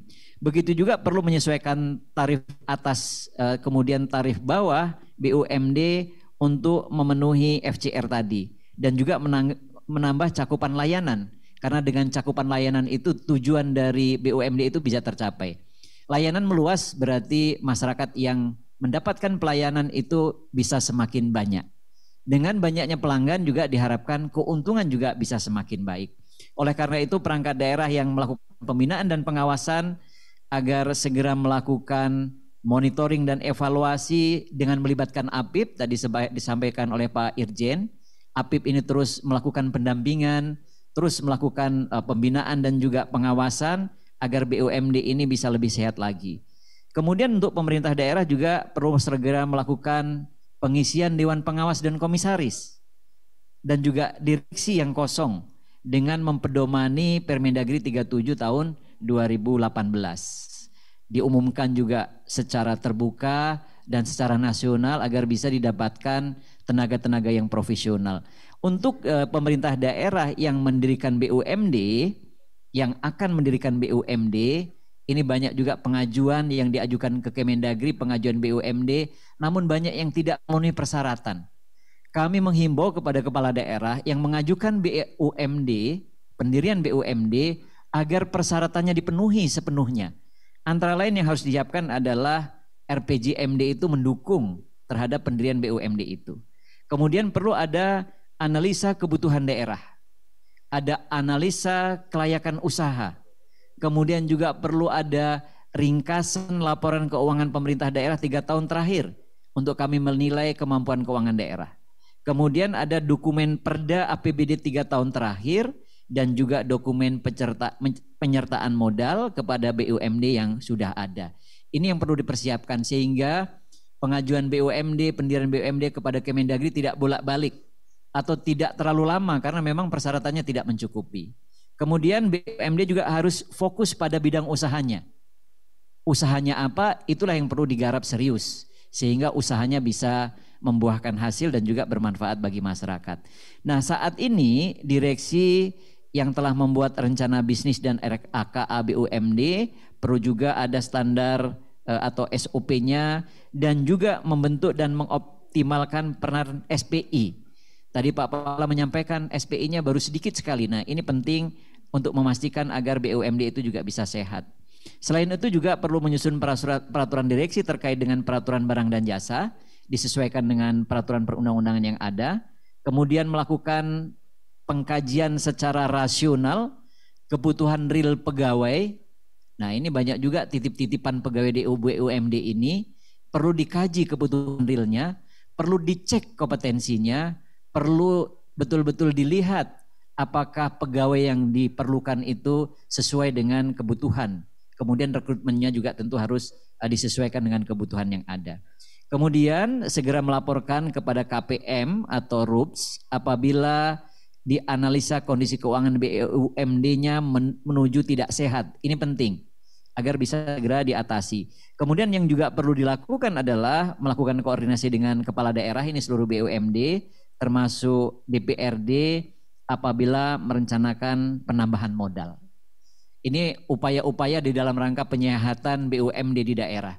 Sementara kami dari uh, pembina pusat dalam hal ini Kementerian Dalam Negeri dan juga di dalamnya ada BPKP, ada kementerian lembaga yang lain yang juga disupport oleh Stranas PK mempunyai komitmen yang kuat untuk bisa memastikan bahwa BUMD ini sehat BUMD ini bisa melayani masyarakat, namun juga BUMD bisa menguntungkan dan juga bisa meningkatkan pendapatan daerah, khususnya dalam meningkatkan pendapatan asli daerah yang mening sehingga nanti dapat meningkatkan kemandirian daerah dan dapat melakukan pembangunan dengan baik.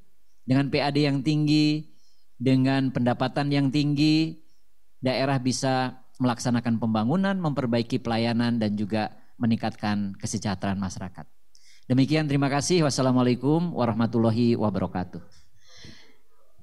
Terima kasih atas sampaiannya. Uh, luar biasa nih Pak Fatoni sudah menyampaikan bahwa ini menjadi momentum yang baik ya bagi kepala daerah yang sedang menyaksikan acara ini, bahkan juga dari perwakilan BUMD bahwa ini menjadi momentum perubahan bentuk BUMD, bahkan untuk melihat ke dalam dari tata kelola SDM, uh, apakah yang sudah dikerjakan saat ini sesuai eh, dengan jenis usaha garapannya, jangan kemudian berbeda, bahkan juga untuk kepala daerah yang mengajukan BUMD baru, uh, lengkapi persyaratannya, analisis mengenai kelayakan usahanya, bahkan juga kebutuhan daerah seperti apa. Dan mungkin juga BUMD yang belum atau masih ada kekosongan, jabatan direksi dan juga komisaris ini boleh langsung ditunjuk tapi transparan dan kompeten pastinya.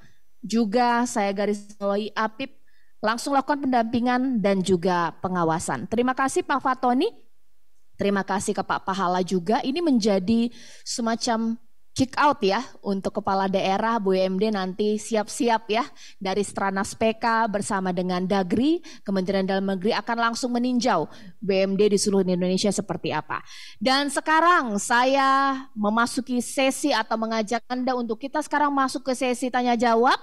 Saya minta partisipasi dan juga kontribusi dari seluruh peserta yang hari ini menyaksikan secara online untuk bertanya kepada seluruh narasumber saya di sini. Oh, tampaknya sudah ada pertanyaan ini langsung dari pemerintah kota yang sudah masuk di sini. Tapi saya juga nanti akan mempersilahkan ya yang bagi ingin bertanya langsung hidupkan atau mungkin aktifkan future raise hand-nya nanti panitia akan melakukan spotlight.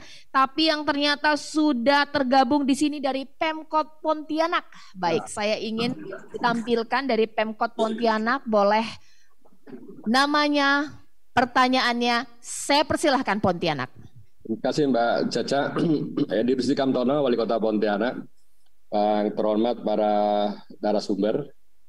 Belum terdengar, mungkin saya cek dulu ya audionya ya. Selamat pagi. Selamat pagi Mbak Caca. Baik, dipersilakan Pak. Ya, terima kasih Mbak Caca yang terhormat uh, dari Wakil Ketua KPK, Bapak Irjen Debagri, Dirjen Bina, Bina Keuangan Daerah dan Bapak Deputi Pencegahan KPK. Nah, Kota Pontianak ada dua BUMD ya, BDAM dan eh, BPR Katulistiwa dan alhamdulillah berjalan uh, sebagaimana mestinya sesuai dengan uh, TP 54. Di sini yang ingin saya tanyakan adalah kita ingin membuat BUMD baru untuk uh, penanganan beberapa sektor seperti pangan dalam rangka kita untuk mengendalikan inflasi. Tapi prosesnya memang agak uh, sulit ya di, di, di asistensi di Kementerian Dalam Negeri. Jadi kita mohon ini juga untuk bisa dipermudah dalam proses pembuatan BMD baru di sektor pangan dan persampahan. Yang kedua uh, berkaitan dengan PP 54 yang mengatur tentang insentif bagi KPM di daerah. Ini kan sejak tahun 2018 itu ada turunannya yaitu Permendagri sampai sekarang tidak tidak terbit gitu ya. Jadi ini yang kita tunggu dan juga terhadap uh, satu personel dari pengawas dari uh, pusat yang kita uh, pandang mungkin tidak begitu efektif kalau seandainya uh, terlibat di dalam uh, pengawasan di daerah. Dan uh, itu yang yang pertanyaan yang yang ingin saya tanyakan. Terima kasih Mbak Caca. Baik, terima kasih Pontianak. Sekarang saya langsung beranjak. Kita tampung dulu ya. Tiga pertanyaan untuk sesi pertama. Kalau tadi sudah Pontianak, ternyata sudah masuk Sumatera Barat. Apa kabar? Selamat pagi Sumatera Barat. Sudah tersambungkah di sini? Boleh kita cek-cek dulu audio? Baik, sambil nunggu bersiap Sumatera Barat, boleh juga bersiap dari bisa. Kepri, Kepulauan Riau. Ini Sumatera Barat ya. Wah, ini sudah disaksikan oleh seluruh peserta yang ada di sana. Boleh dipersilakan untuk pertanyaannya. Baik, selamat pagi Mbak Caca. Saya Audi Jonaldi, Wakil Gubernur Sumatera Barat. Pagi hari ini kami hadir bersama dengan 16 bupati, wali kota dari 19 kota kabupaten yang ada di Sumatera Barat karena pagi hari ini kami juga ada rakor kepala daerah Sumatera Barat. Uh, tiga kabupaten yang hadir diwakili oleh sekretaris daerah masing-masing. Jadi komplit ini dari seluruh kabupaten kota Sumatera Barat ikut hadir pada pagi hari ini Mbak Caca. Ada beberapa yang mau kami tanyakan Pak Fatoni, Pak Agus Fatoni dan Pak Pahala. Di Sumatera Barat ini ada dua BUMD yang dalam proses likuidasi karena satu dan lain hal. Sementara untuk penyelesaian kewajiban dan aset sekarang udah nggak boleh dianggarkan melalui APBD. Sehingga hal ini jadi kendala dari tahun 2018 sampai sekarang. Mungkin hal ini juga sama dengan beberapa BUMD di kota kabupaten yang hadir pada pagi hari ini di Sumatera Barat. Kami sekarang sedang berada di kota Payakumbuh, Sumatera Barat. Mohon arahan dari Mendagri dan KPK agar hal ini bisa diselesaikan segera. Lebih kurangnya itu. Terima kasih. Assalamualaikum warahmatullahi wabarakatuh. Terima kasih Pak Ogup. Luar biasa ini disaksikan oleh eh, kepala-kepala uh, daerah se-Sumatera Barat ya. Yang tadi saya sudah lihat ini uh, luar biasa. Satu lagi mungkin sekarang saya ke Kepri terlebih dahulu untuk uh, kita rangkum sesi pertama tanya jawab ini dengan tiga pertanyaan. Tadi sudah Pontianak, Sumatera Barat, sekarang kita ke Kepulauan Riau. Dipersilakan Bapak. Terima kasih. Assalamualaikum warahmatullahi wabarakatuh. Selamat uh, pagi menjelang siang yang kami hormati Pak Alek, Pak Pahala, Pak Tom Sitohir, kemudian uh, Pak Ahmad Fatoni.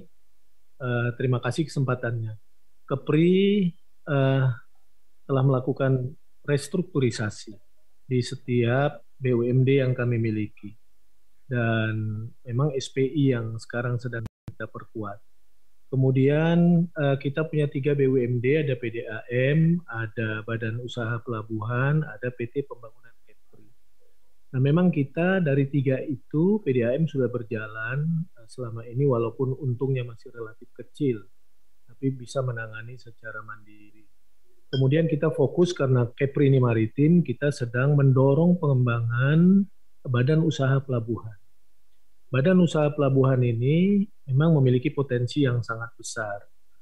Nah, PT Pembangunan Kepri memiliki usaha mobilisasi kapal angkutan untuk masyarakat.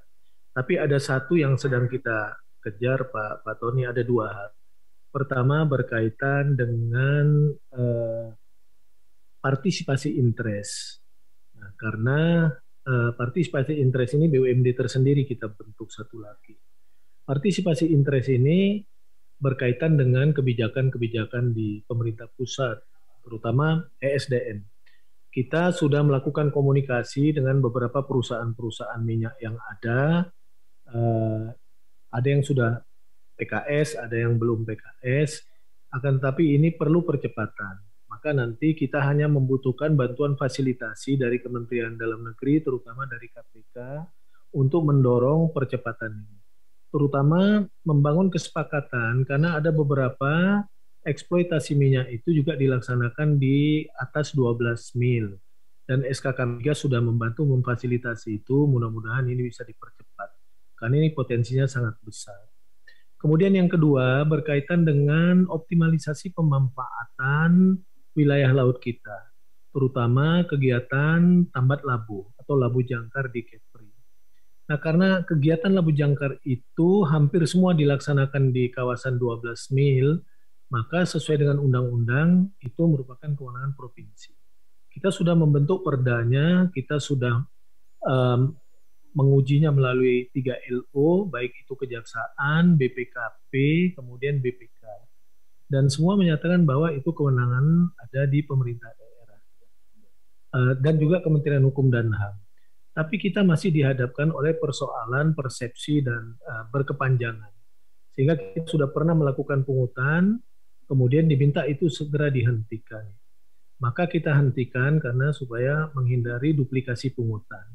Nah, kita mohon nanti bantuan fasilitasi KPK, kemudian Kementerian Dalam Negeri untuk membahas ini secara bersama supaya ada kepastian hukum. Dan uh, kalau bicara soal undang-undang retribusi, ada eh, fasilitas-fasilitas uh, layanan yang kita berikan tidak bersifat emali, tapi berkepanjangan. Seperti kita punya survei soil investigation-nya sehingga kita bisa menyusun kawasan parkirnya, ada uh, sistem pengawasannya dengan ketat. Gitu. Sehingga ke depan saya kira itu jadi objek pungutan yang besar. Di samping juga ada 13 usaha-usaha ikutan lainnya yang bisa dikelola oleh badan usaha pelabuhan kita yang kalau ini kita lakukan maka ini akan menjadi trigger ekonomi di Kepri. 86 ribu kapal setiap tahun Pak berlalu lalang di Selat Malaka itu, tapi kadang-kadang di laut kita yang sebenarnya sangat luas dan sangat potensial itu sangat minim sekali.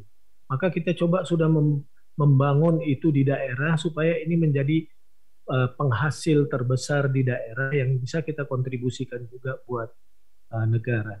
Satu pertanyaan terakhir, uh, Pak Dirjen, kami punya BUMD Badan PT Pembangunan Kepri. Karena situasi ketahanan pangan seperti ini, mereka sudah punya peran kuat sekali. Sekarang sebagai penyalur minyak goreng, mereka juga Eh, sebagai penyalur beberapa komoditi-komoditi penyebab inflasi dan ini sudah berjalan. Bisa juga membantu menurunkan eh, inflasi, mengintervensi beberapa jenis itu. Tapi memang PT Pembangunan Kepri ini modalnya masih relatif kecil sekali. Nah, kita punya badan usaha pelabuhan ini punya uh, simpanan modal yang cukup besar. Apakah ada aturan yang membolehkan uh, PT Pembangunan Kepri ini bisa mengadopsi modal dengan bentuk apa pinjaman atau apa ke BUMD yang lain yang sama juga ini di daerah dari PT Pembangunan Kepri ke uh, Badan Usaha Pelabuhan Kepri PT Pelabuhan uh, Kepri. Nah mungkin itu yang dapat kami sampaikan yang mudah-mudahan pertemuan ini bisa dilanjutkan nanti secara parsial dan sekali lagi apresiasi atas pertemuan ini. Terima kasih. Wassalamualaikum warahmatullahi wabarakatuh. Luar biasa terima kasih Pak Gubernur. Uh, Gubernur Kepri tadi, Wagub Sumbar bahkan dari Pontianak luar biasa. Dijawab satu persatu ya uh, Pak Fatoni mungkin bisa saya uh, kasih garis bawahi supaya tidak lupa dengan pertanyaannya mulai dari BUMD baru tadi di Sumatera di Pontianak ya memang cukup potensial pangan tapi prosesnya memang lumayan sulit bahkan juga untuk insentif pengawas pusat di daerah seperti apa, bahkan dari Sumatera Barat BUMD dalam proses likuidasi juga ini masih dari Kepri BUMD pangan yang butuh suntikan modal bisa nggak ya kalau dari Badan Usaha Pelabuhan dan juga beberapa pertanyaan lainnya pasti Pak Fatoni juga mencatat. Saya persilahkan. Baik, terima kasih Mbak Caca. Yang pertama dari Pontianak, dari kota Pontianak. Jadi sudah mengajukan dan akan mengajukan pendirian BUMD ini agar dipermudah. Ya Pak, kami akan permudah semuanya, namun kami juga akan cek kelengkapannya. Juga di dalam pendirian BUMD ini kami akan selalu berkoordinasi dengan kementerian lembaga terkait. Sama juga tadi yang disampaikan oleh Pak Gubernur Kepri. Jadi misalnya kalau terkait dengan pendirian bank misalnya itu, baik bank daerah maupun BPR, tentu kami akan berkoordinasi dengan OJK seperti itu. Kemudian misalnya terkait dengan pendirian PDAM, kami juga akan berkoordinasi dengan PUPR, Kementerian PUPR. Begitu juga terkait dengan uh, badan usaha milik daerah BUMD di bidang pengelolaan sumber daya, tentu kami juga harus berkoordinasi dengan Kementerian ESDM. Dari sisi persyaratan administratif, kami nanti akan lakukan analisis dengan persyaratan tadi yang sudah saya sampaikan. Berpedoman dari persyaratan itu, kami akan lakukan analisis, kami akan lakukan kajian, kami akan lakukan koordinasi. Kadang-kadang perlu memakan waktu yang lama ini karena pertama sering kali persyaratannya belum lengkap. Komunikasi melengkapi persyaratan ini yang kadang-kadang lama. Tidak intens gitu ya, sering ditinggalkan. Begitu diminta persyaratannya tidak terpenuhi. Ini yang kemudian membuat lama. Oleh karena itu kami berharap bagi daerah yang mengajukan pembentukan BUMD agar persyaratannya betul-betul dilengkapi. Ini yang menjadi kunci. Kemudian kami juga harus berkoordinasi dengan kementerian lain. Kami akan rapat-rapat intensif dengan kementerian-kementerian lain sehingga pendirian BUMD ini bisa cepat. Seperti tadi juga yang disampaikan oleh Pak Gubernur Kepri yang akan uh, mendirikan BUMD terkait dengan Labu Jangkar tadi. Ini memang Pak Pahala dibahas terus menerus ini belum selesai-selesai ini. Jadi keputusan seperti ini bukan ada di Kemendagri, terkait juga dengan Kemenhub, terkait juga dengan kementerian-kementerian lain, sudah dirapatkan juga Mbak Caca ini di Kemenko. Nah, maka tadi Pak Gubernur Kepri minta fasilitasi KPK juga untuk bisa membantu. Karena ini masih perbedaan persepsi, masih belum clear terkait dengan aturan ini. Kemudian Permendagri tentang insentif ini tentu akan menjadi perhatian kita untuk terus kita perbaiki. Uh, begitu juga tadi uh, terkait dengan pembinaan di Permendagri itu di situ disampaikan bahwa perlu uh, bisa saja daerah mengajukan pejabat yang ada di pusat itu untuk menjadi dewan komisaris atau dewan pengawas. Ini agar bisa lebih intens mengawasi di internal di situ. Nah, itu tujuannya seperti itu sama dengan BUMN itu juga ada uh, dari kementerian-kementerian lembaga yang bisa melakukan pembinaan langsung uh, juga bisa memperkuat di jajaran yang ada di BUMD itu. Kemudian dari Sumatera Barat Pak Wagub Terima kasih Pak Wagub beserta seluruh Bupati Wali Kota yang hadir pada pertemuan ini. Pak Wagub sedang mengajukan likuidasi. Nah terkait dengan likuidasi ini eh, Sumatera Barat dapat membentuk tim likuidasi. Dasar hukumnya PP 54 tahun 2017 dan juga bisa menggunakan dasar hukumnya Permendagri 52 tahun 2012 tentang uh, pedoman investasi daerah yang didahului dengan analisa. Nanti kita bisa berkoordinasi untuk bisa lakukan percepatan-percepatan dengan ini. Kemudian terkait dengan uh, dari Pak Gubernur Kepri tadi, uh, tiga BUMD sudah berjalan dengan baik. Kami berikan apresiasi terkait dengan Badan Usaha Pelabuhan yang ini akan dibentuk. Kami juga siap support. Nanti kita terus koordinasikan Pak Gubernur. Kemudian terkait dengan uh, partisipasi interest nanti juga komunikasi kita dengan ESDM, Kementerian ESDM juga perlu kita lakukan. Hal-hal lain yang nanti uh, bisa mendorong percepatan dan juga mendukung penguatan BUMD di Kepri nanti kita bisa diskusikan. Di terkait dengan uh, tadi terkait dengan yang terakhir tadi terkait dengan pinjaman, pinjaman itu lebih baik kita mengajukan pinjamannya ke perbankan bisa juga ke perbankan yang ada. BPBD, BPD seluruh Indonesia juga ada, di Kepri juga ada BPD di sana Pak, itu bisa juga melakukan pinjaman sekali juga untuk memperkuat BPD yang ada di sana. Pada prinsipnya pinjaman bisa dilakukan. Demikian Mbak Caca, terima kasih. Baik. Terima kasih sudah dijawab luar biasa dari tiga pertanyaan tadi. Saya minta Pak Pahala juga untuk menanggapi bahkan juga ada pertanyaan khusus ya Pak ya ketika ada optimalisasi pemanfaatan wilayah laut dari Kepulauan Riau. Kira-kira ini fasilitasi dari KPK seperti apa? Mungkin dari Stranas PK bisa memberikan masukan Pak Pahala. Baik, makasih. Saya komentar langsung aja yang relevan. Yang pertama, eh, ini saya lihat ada pangan dan pangan gitu. Sebenarnya kita bilang eh, sekarang di tempat Pak Fatoni kan perbaikannya bukan hanya di Bapak Ibu sekalian di lapangan, tapi di Kemdagri juga kita lakukan perbaikan dalam bentuk eh, digitalisasi untuk sistem informasi BUMD. Artinya begini, kalau ada Pontianak mau bikin BUMD pangan, ada Riau mau bikin pangan, itu kan sebenarnya datanya dari tempat Pak Fatoni yang udah jalan misalnya DKI lah gitu pangan. Nah kita berharap ada semacam eh, pertukaran knowledge ini sehingga daerah lain yang ingin membentuk BUMD pangan begini loh gitu. Ini visibility-nya yang bahaya ini ini ini yang tidak boleh ini ini kira-kira gitu ya. Jadi Kemdagri akan berfungsi semacam uh, clearing house dia. Jadi yang sudah ada masuk informasinya ke sistem informasi BUMD-nya nanti yang mau berdiri silakan lihat di sini apa yang harus disiapkan sehingga diharapkan pembentukannya juga tidak harus direview satu-satu. Karena ini kan hampir semua ditugaskan mengendalikan inflasi di daerah. Salah satunya lewat yang paling efektif distribusi pangan lewat BUMD. Jadi itu kira-kira ada semacam eh, exchange knowledge gitu ya kira-kira gitu di tempat Pak Fatoni sedang dibangun sekarang gitu. Termasuk kompetensi para direksi. Jadi ada Pak Sugeng dari BPSDM gitu kita bilang dibikin dong Pak gitu online kayak kayak e-learning gitu. Jadi minimal kalau mau jadi direksi BUMD atau komisaris adalah pembelajarannya sejam atau setengah jam apa yang boleh apa yang nggak boleh. Itu itu yang saya bisa tambahkan. Tapi secara spesifik untuk Kepulauan Riau saya dengar ini Pak, dari Pak Sekjen juga dibilang gitu, tapi kita bilang di Stranas kita udah sudah terangkan gitu bahwa ada proses pembenahan 14 pelabuhan di Indonesia. Endingnya adalah kita ingin pelabuhan di Indonesia ini bisa memproses barang masuk secara cepat dan murah.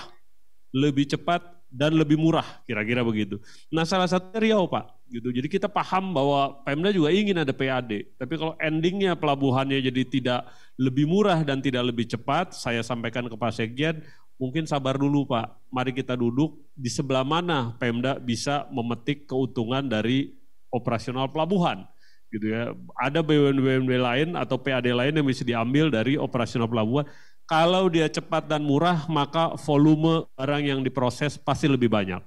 Oleh karena itu kita bilang Pak gitu bahwa 12 mil laut iya gitu 12 mil laut tapi sekarang kondisinya pelabuhan di Indonesia yang 14 pelabuhan atau 10 yang terutama itu jauh lebih mahal dibanding pelabuhan-pelabuhan benchmark seperti Singapura misalnya. Oleh karena itu di Riau secara khusus di Batam waktu itu kan dipotong tarifnya setengah gitu supaya kompetitif. Sekali lagi Pak Gubernur kita kita sudah bahas Pak, kita sudah pelajari gitu dan kita membuka pintu untuk diskusi lebih detail. Tapi yang ada di pusat di Kemenko Marves terutama dengan Inpres 5 2020 gitu, kita ingin juga pelabuhan cepat dan murah. Bahwa Pemda harus ada keuntungan dari situ kita sepakat Pak. Nanti kita cari di sebelah mana gitu, tapi kalau implementasinya jadi membuat pelabuhan lebih mahal dan lebih lama gitu, kita pikir tujuan besarnya yang kita perlu lihat gitu. Jadi sekali lagi sistem informasi BUMD akan segera kita uh, bangun Pak di di Direktorat BUMD tujuannya supaya proses-proses ini kalau BUMD-nya generik sama gitu mungkin Pak Fatoni bisa menjamin lebih cepat. Satu dia pengajuannya digital, kedua udah ada yang lain gitu. Kalau pangan kan rasanya se-Indonesia juga bisa bikin. Kalau udah ada yang lain kayak apa syaratnya, kayak apa e, e, gambarannya, saya pikir belajar dari situ di share ke tempat lain.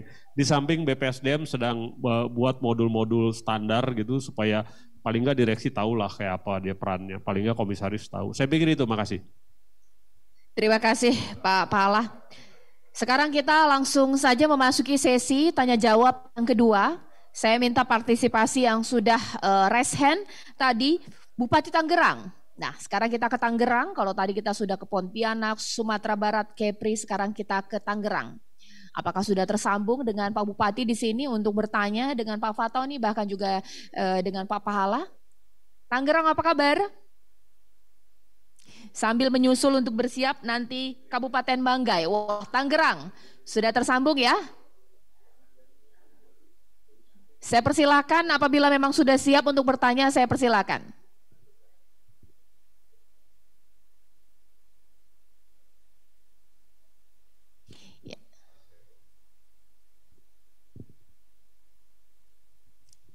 Masih belum terdengar, saya cek lagi ya. Selamat siang Bapak. Wah ini kalau Tangerang nggak terlalu jauh dari rumah saya, karena saya Tangerang Selatan Pak Pahala, tetangga ini. ini ya Tangsel sama Tangerang, baik.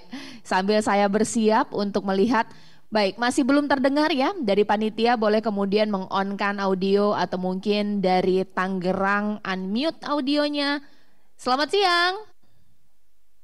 Cek lagi ya. Selamat siang Tangerang.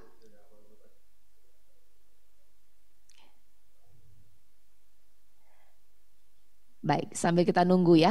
Baik, mungkin sedikit ada kendala dengan Tangerang tidak mengapa. Nanti kami akan e, melakukan koreksi untuk teknisnya. Mungkin kita ke Kabupaten Banggai terlebih dahulu. Baik, Banggai apa kabar? Selamat siang dari Jakarta, ingin menyapa Banggai, luar biasa. Saya persilahkan. Bapak Ibu yang kami muliakan, kepala daerah, kita mungkin cukup ya ini. Um,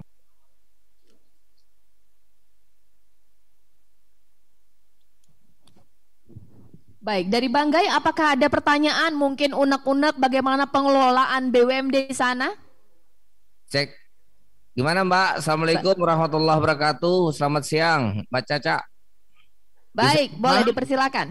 Ya, Pak Fatoni yang kami hormati, Pak Pahala, ya, Bapak Ibu, Uh, Alhamdulillah kami punya dua BUMD di sini yaitu PDAM. Alhamdulillah sekarang berjalan baik, lancar. Terus kemudian sama Banggai Sakti yang sekarang sementara bekerja. Yang ingin kami tanyakan sama Pak Fatoni bahwa Kabupaten Banggai, Sulawesi Tengah termasuk salah satu daerah penghasil nikel. Yang ingin kami tanyakan apakah kami bisa dibantu untuk izin yang diberikan kepada BUMD tentang penampangan nikel sehingga kami tidak menjadi penonton di negeri kami sendiri. Karena sebagian besar pelaksana ini adalah pengusaha-pengusaha. Sementara kami sebagai BUMD ini tidak pernah diberikan kesempatan untuk mendapatkan ini. Kalau kami mengelola daerah hanya dengan retribusi parkir, retribusi parkir, eh, retribusi pasar dan pajak-pajak yang sangat kecil, yakin dan percaya ketergantungan kami terhadap pusat ini masih sangat besar.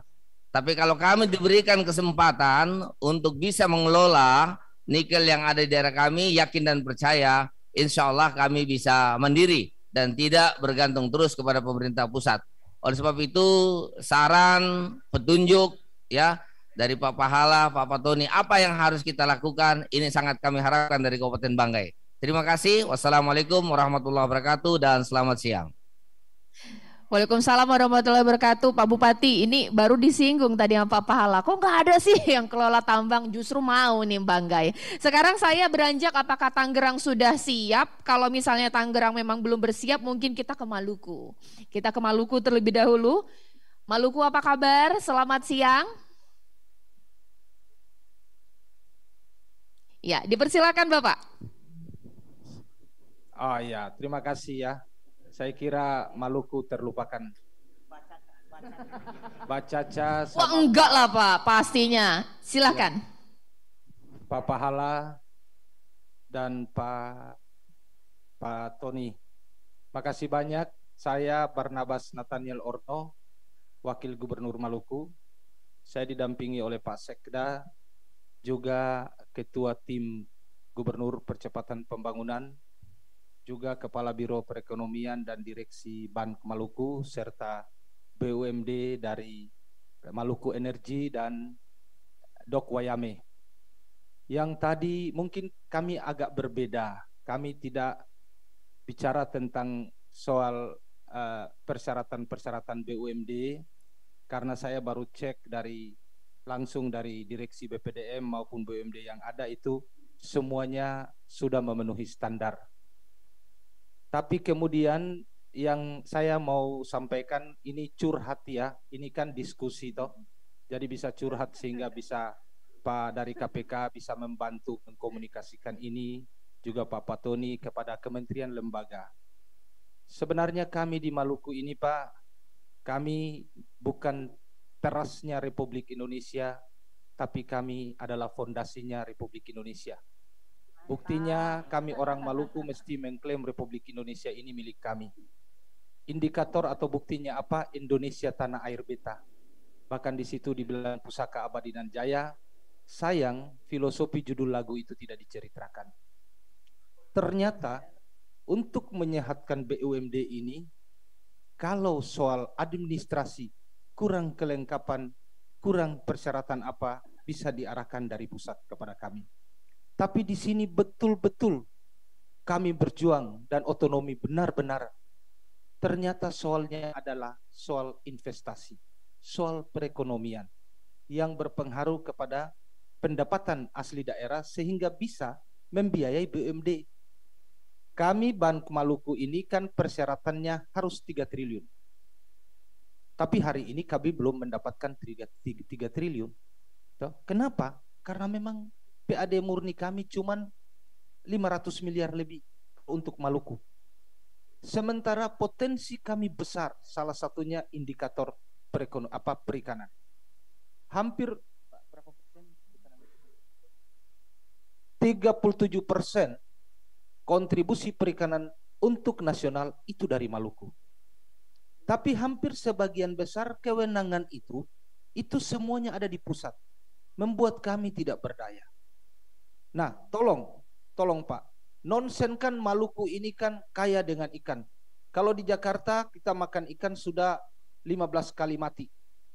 Kalau di Maluku cuma satu kali mati Pak. Itu bukti. Pak Pak Alex itu, Pak Alex Parwata itu sering ke Maluku. Terima kasih Pak Alex. Saya sebenarnya tidak perlu bercerita banyak. Pak Alex bisa tahu. Datang di Maluku ini ikannya segar semua. Tapi sangat berbanding terbalik. Di sini tidak ada investasi perikanan apa pun. Rakyat kami kekurangan kami Maluku miskin dikatakan mix, miskin ekstrim bukan karena kekurangan potensi sumber daya alam. Tapi mungkin soal kebijakan negara mesti berpihak bukan kami Maluku saja, tapi untuk wilayah-wilayah yang seperti Maluku. Kepulauan. Nah, saya mohon Pak, ini provinsi kepulauan Indonesia ini kan dikatakan bahwa negara maritim. Tapi tidak ada indikator yang bisa kita tunjukkan bahwa ini negara maritim. Mestinya provinsi-provinsi kepulauan ini segera ditetapkan sebagai provinsi kepulauan dengan undang-undang. Ini sudah diperjuangkan dari dulu, tapi tidak pernah.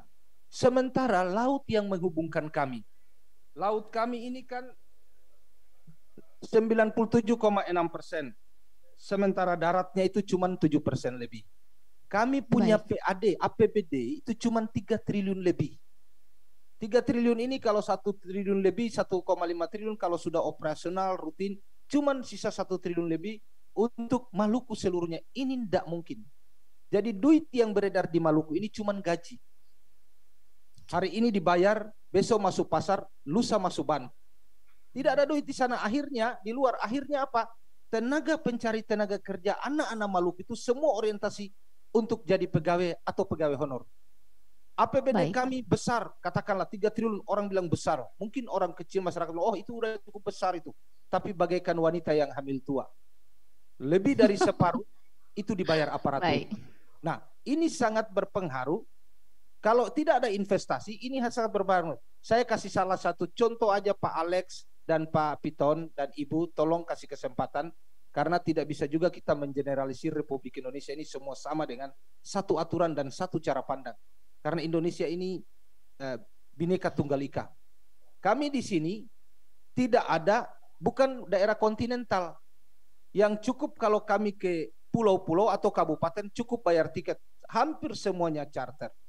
Nah, kalau andai kata negeri kami ini jadi wilayah kepulauan, mungkin kami terbantu dengan DAU apalagi Dau dengan syaratnya jumlah penduduk, luas wilayah. Padahal tete nenek moyang kita pelaut, kita sudah ke mana-mana. Ah. Oke okay, kak. Baik. Ah. Mohon oh, maaf Bapak sedikit lanjut, uh, ah, saya baik, Bapak boleh dipersingkat Pak Wagu. Ya, ya ini baik. singkat. Ini satu contoh Bu. Waktu kami Lemhanas 2014, wali, wakil wali kota Tangerang Selatan yang hari ini sudah jadi wakil wali kota, beliau mengatakan bahwa 10 tahun mendatang itu orang Tangerang Selatan hanya hidup 10 meter persegi. Saya bilang, iya betul, pasti. Karena apa? Semua kebijakan dan apa ini semua datang di pusat. Toh? Mestinya saya bilang waktu itu, mestinya kalau mau supaya masyarakat ke Jakarta dan ini, saya bilang kemudian investasi, pendapatan perekonomian disatukan, mestinya membuat pengelompokan investasi di seluruh wilayah Indonesia. Jadi investasi tidak semuanya ke Jawa, tapi misalnya Maluku, uh, eh, NTT dan misalnya dikelompokkan ya beberapa wilayah ada investasi apa di situ supaya penyebaran duit itu investasi itu bisa merata. Tapi kalau ini tidak ya semua datang ke sini. Ah, jadi ini mungkin permintaan kami Pak, permohonan kami. Pak Marwata dari KPK dan Pak Piton tolong menyuarakan ini kepada pemerintah atau lembaga kementerian lembaga terkait sehingga ada kebijakan untuk pemerataan investasi demi ekonomi masyarakat di daerah itu sehat sehingga BUMD BUMD kami tadi saya tanya sehat tapi masih mestinya lebih lebih lagi dong. Banyak pemasukan dong. Terima kasih Pak. Saya percaya sungguh Bapak dan Bapak berdua lakukan ini. Ini saya yakin ini adalah saham Bapak berdua masuk surga kalau Maluku. amin, amin, amin, amin. Wassalamualaikum warahmatullahi wabarakatuh. Salam sejahtera, shalom untuk kita semua.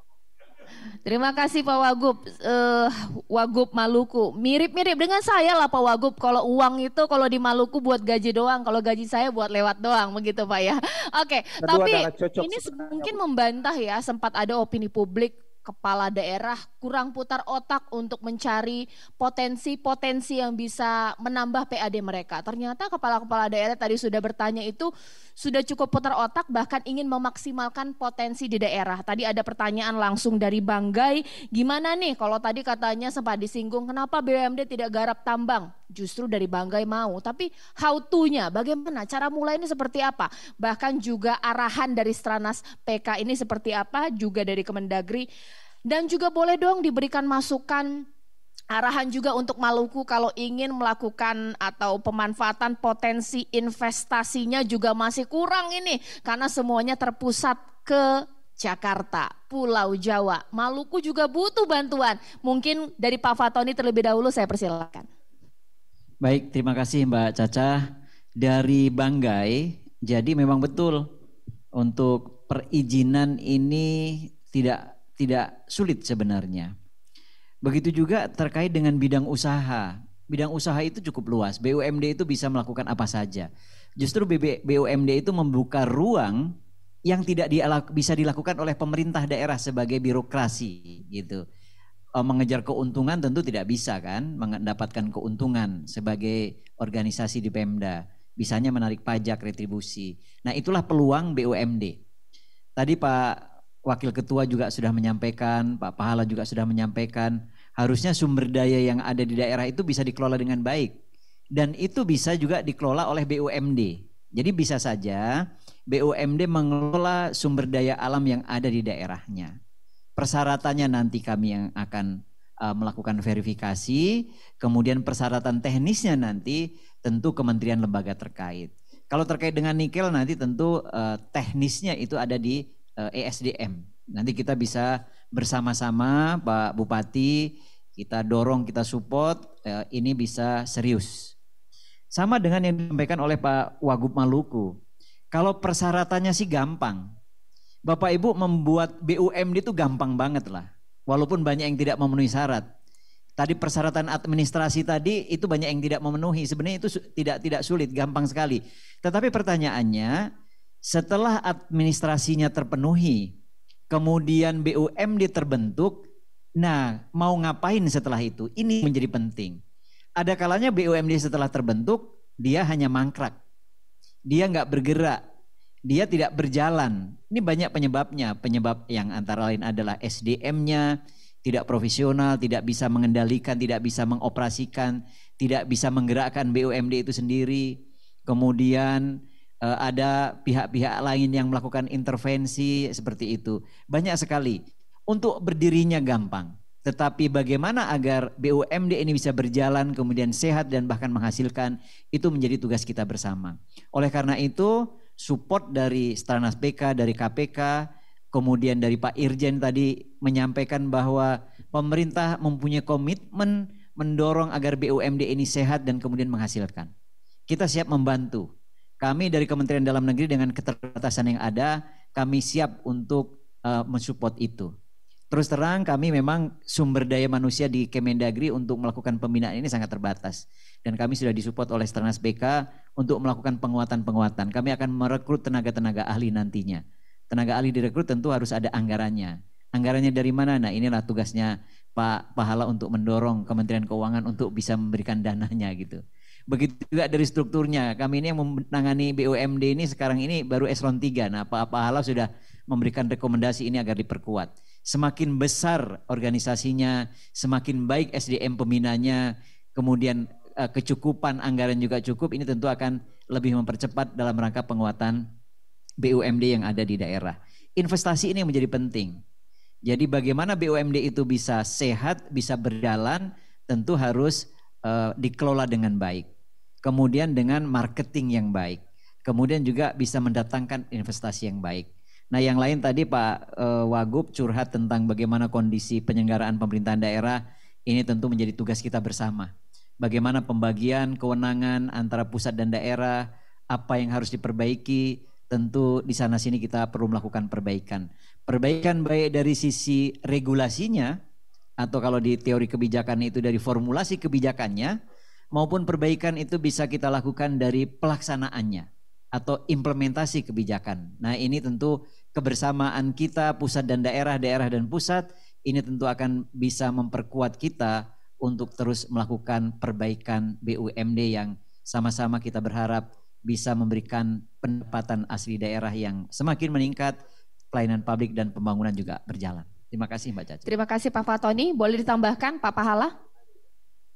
Saya eh, mengundang Bupati Banggai gitu. Kalau sempat ke Jakarta mampir kantor saya Pak. Biar kita ketemuin dengan Dirjen Minerba gitu. Karena sudah lama kita ingin mendengar ini dari daerah. Kita pengen tahu juga realnya apa gitu ya. Karena kita bilang ya perizinan di daerah, perizinan sumber daya alam selama ini selalu aja ada suapnya ya. Kalau dari KPK bilang ya tentu aja dia datang cuma sekali, habis itu nggak pernah ada lagi keuntungannya, ya sudah mending sekali ini kita manfaatkan. Makanya perizinannya selalu dengan suap. Kira-kira begitu. Oleh karena itu Pak Bupati Banggai ini saya mengundang benar ya. Kalau ada waktu minggu depan gitu Pak, kita atur gitu biar kita fasilitasi dengan Pak Fatoni dengan Dirjen Minerba ini ada Pemda mau investasi gitu, tapi saran saya Pak, dibuka opsi juga untuk eh, kerjasama dengan BUMN gitu, karena ini modalnya kan serius Pak. Gitu kan kalau udah namanya ekstraksi gitu kan perlu alat berat dan lain-lain Pak. Tapi pernah dua tahun yang lalu Gubernur Sultra datang bilang memang dari puluhan iup gitu Pemda nonton aja Pak gitu. Ya kita bilang ayo kalau mau bikin BUMD tapi tahu diri juga gitu. Kuat modal nggak dan jangan lupa itu kan ada kemampuan teknis juga. Oleh karena itu ingin punya BUMD pengelolaan tambang kita dukung Pak tapi opsinya harus dibuka apakah dimulai dengan katakanlah joint venture dulu dengan Antam misalnya gitu, nanti kita bisa fasilitasi dari sini gitu, atau langsung juga boleh kalau memang visible dan mampu gitu. Pada saat yang sama saya ingin protes juga ke Wagub Maluku gitu Pak, bahwa kalau udah jelas Maluku 97 persen sekiannya itu air laut gitu, Boya BUMD-nya perginya ke arah itu dong gitu fisheries, lantas pariwisata berbasis laut. Kan kita lihat semuanya uh, spot penyelaman indah-indah gitu. Nah, tapi kalau BUMD-nya nggak mau pergi ke sana ya repot Pak. Saya ngelihat banyak Pak BUMD untuk wisata selalu cita-citanya bangun guest house.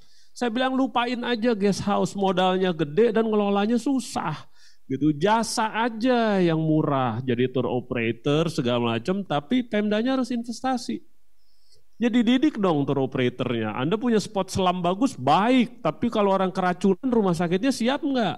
Kalau nggak siap, ya penyelam yang yang yang beneran niat gitu, ya nggak mau nyelam di situ. Nah ini kita pernah ketual Pak. Beneran nih tual punya spot selam baik gitu. Kita undang loh ahli wisata dari Jakarta. Kita datengin, Pak ini penyu hijau keluar setahun sekali di tual. Baik, wisatanya apa? Ya jangan nonton-nonton gitu kan. Dia dideketin. Ternyata kalau dengan binatang perlu interaksi, perlu dipegang. Gitu. Makanya bedanya Ragunan dengan Taman Safari kalau di Jakarta gitu Pak. Kalau di Ragunan kita nonton ular, kalau Taman Safari kita ngasih makan binatang. Orang lebih disuruh bayar 100 ribu mau kalau disuruh ngasih makan gitu ya. Nah yang begitu-begitu saran saya Pak Wagub gitu undang aja lah ahli wisata, tapi fokus aja wisata laut gitu ya. Kalau memang wisata. Kalau mau mengelola fisheries baik, tapi sekali lagi modalnya nggak main Pak, bikin cold storage itu nggak murah. Jadi sekali lagi dibuka opsinya Pak, jangan niatnya kegedean gitu. Kalau harus join venture, join venture Pak. Kalau itu di pusat semua kewenangannya silakan dengan Perikanan Nusantara atau Perindo silakan aja gitu dibuka aja peluang kerjasama dengan itu kita kerjain di daerah pak tapi karena kewenangan di anda mari kita bikin perusahaan patungan saya rasa lebih lebih uh, realistis Pak gitu. Jadi kita bilang dengan APBD 3 triliun, saya bilang kalau dibilang kecil ya kecil, dibilang gede yang gede. Oleh karena itu kalau mau bikin BUMD cari aja yang kecil uh, modalnya. Antara lain ya jasa. Kalau nggak bisa sendiri ya ajak BUMN. Kalau nggak bisa BUMN ya ajak swasta. Tapi saya pikir ada ada pentahapan yang lebih lebih uh, apa? lebih realistis Pak gitu, jangan semangatnya kegedean, nanti Pak Wagub turun BUMD-nya selesai Pak. Kalau membukanya BUMD, dorong-dorong Pak Fatoni agar cepat-cepat-cepat begitu likuidasi, diem-diem semua daerah Pak. Ini Pak Fatoni yang ngeluh, ini saya nyampein aja gitu.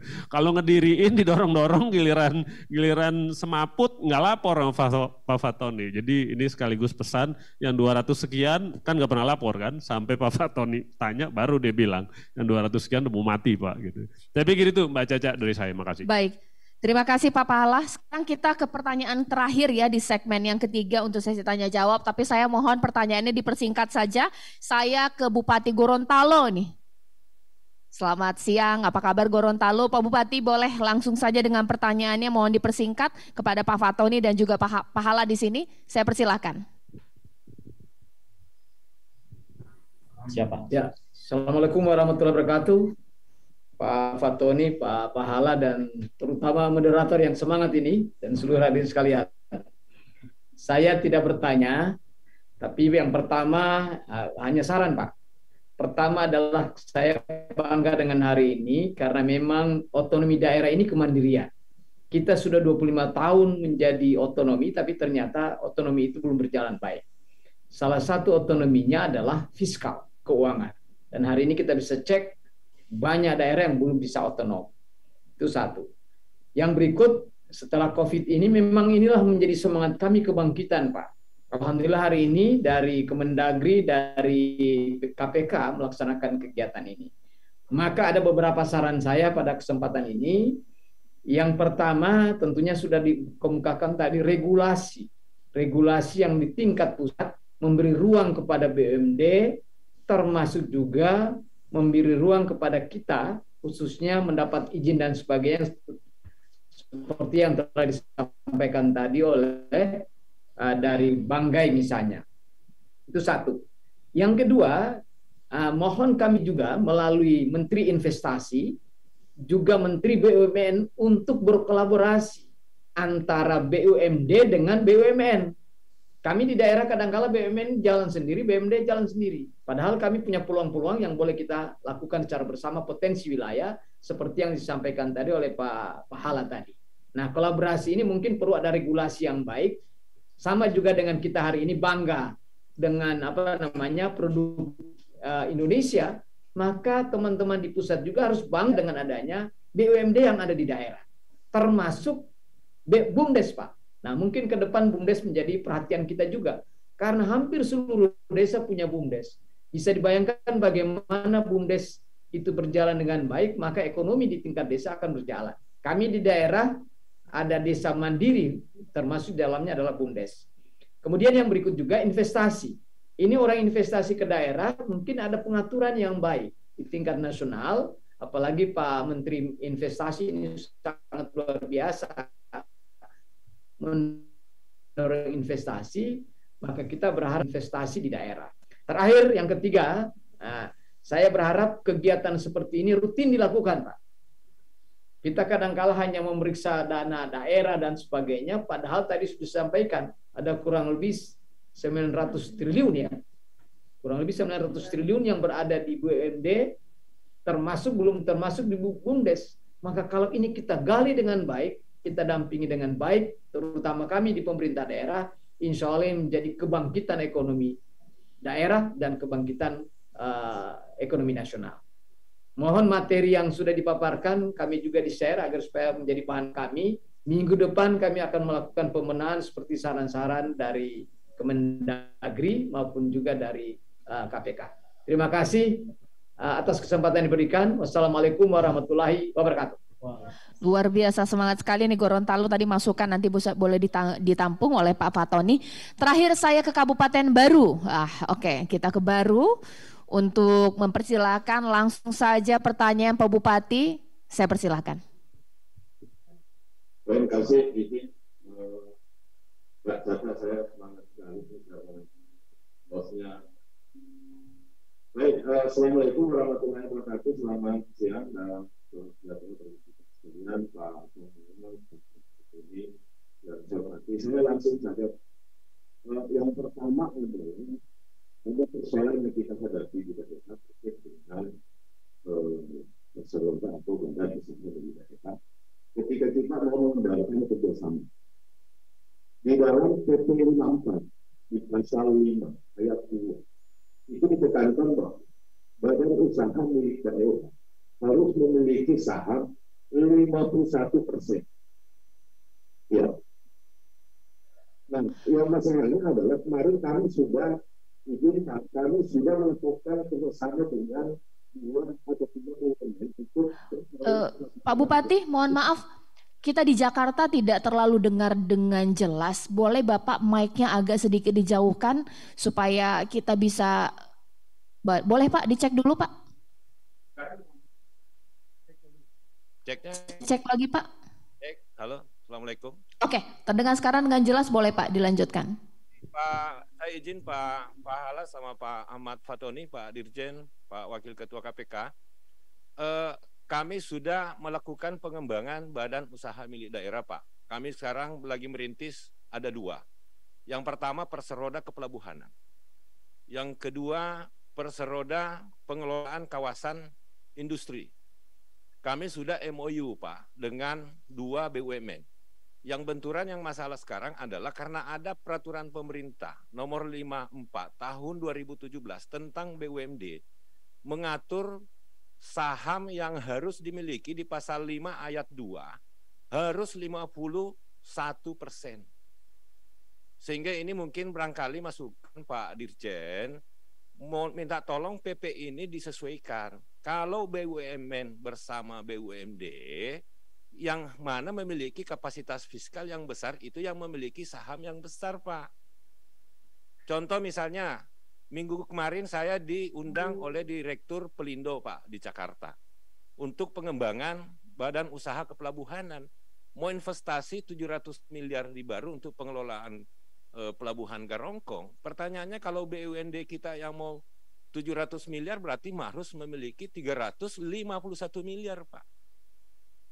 Artinya apa? Ini adalah PP yang memang tidak menginginkan badan usaha milik daerah bisa hidup. Oleh karena itu mungkin perlu peninjauan segera Pak. Kami kerjasama sekarang PT Kima, kawasan industri Makassar untuk membangun kawasan industri baru Pak. Kami sudah desain semua. Tapi pertanyaannya, waktu rapat di DPR RI nggak bisa Pak. Karena PT Kima BUMN, anggota DPR mengatakan PT Kima harus 51. DPRD di Baru juga mengatakan perseroda yang ada di Baru juga harus 51. Akhirnya mangkrak Pak ini. Itu saja barangkali Pak Pak Hala, Pak Pak Dirjen. Terima kasih. Assalamualaikum warahmatullahi wabarakatuh. Terima kasih Pak Bupati. Mungkin boleh dijawab langsung Pak Fatoni. Ya baik, terima kasih Pak Bupati Gorontalo dan Pak Bupati baru. Jadi terkait dengan BUMD ini masukan-masukan cukup banyak. Ini menjadi catatan kami terkait dengan perbaikan-perbaikan regulasi, kemudian tadi persentase tadi 51 persen, uh, ini akan jadi kajian kami. Ya sebenarnya namanya BUMD itu miliknya daerah.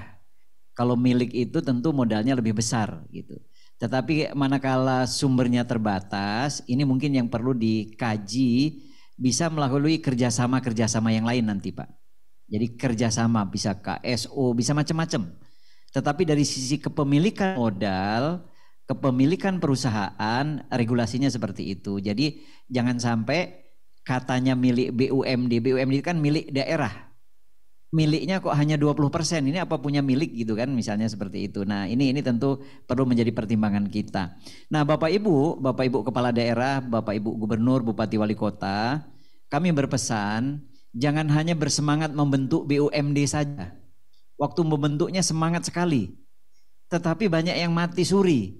Nggak bergerak ini yang jadi problem nih. Setelah berdiri, ya harus dihidupkan. Maka yang fokus utama kita, bagaimana kita membenahi BUMD-BUMD yang sudah ada. Manakala ada usaha baru yang memang belum dicantumkan di dalam usaha BUMD, ya kita bisa perluas usahanya. Nah, seperti itu. Bahkan kami juga berikan apresiasi kepada beberapa daerah yang akan menggabungkan beberapa BUMD yang tidak sehat menjadi satu BUMD ini bagus. Daripada banyak tapi tidak tidak sehat, lebih bagus satu atau dua tapi sehat. Nah ini ini semangat ini yang perlu kita bangun Bapak Ibu. Jangan terus ingin membangun usaha-usaha terus, mendirikan BUMD BUMD terus, tapi tidak bisa berjalan. Apalagi mengingat masa jabatan-masa jabatan yang sudah pendek. Nah, masa jabatan saya kira hampir semua kepala daerah itu di 2024 semuanya berhenti. Bahkan sebagian besar di 2023 berhenti. Waktu yang pendek ini kalau Bapak Ibu masih baru berpikir akan mendirikan BUMD perlu dipertimbangkan. Mendirikannya masih lama, prosesnya persyaratannya masih lama, belum tentu kapan bergerak. Nah, ini ini menjadi tugas kita bersama Bapak Ibu. Prinsipnya kami dari Kemendagri siap untuk mensupport agar BUMD BUMD ini menjadi sehat. Saya kira itu dari saya Mbak Caca, terima kasih. Saya persilakan Pak Pahala untuk menambahkan. Baik, baik. Uh, mudah-mudahan uh, terjawab sudah apa yang tadi sudah ditanyakan dan apabila ada masukan, pastinya dari Stranas PK juga akan memasukkan masukan dari daerah-daerah yang tadi sudah bertanya, bahkan masukan tersebut juga diharapkan langsung ditindaklanjuti ya Pak ya dari Kemendagri. Terima kasih atas pertanyaannya Pontianak, Sumbar, Kepulauan Riau. Tadi sempat tersambung dengan Tangerang tapi e, ternyata kita belum berkesempatan, bahkan juga Banggai, Maluku juga pertanyaan tadi ditujukan atau dari Gorontalo dan Kepulauan Baru, maksud saya dari Kabupaten Baru sendiri closing statement dari sini sebenarnya saya ingin bertanya kepada Pak Pahala, Pak, karena ini semacam kick off ya Pak ya.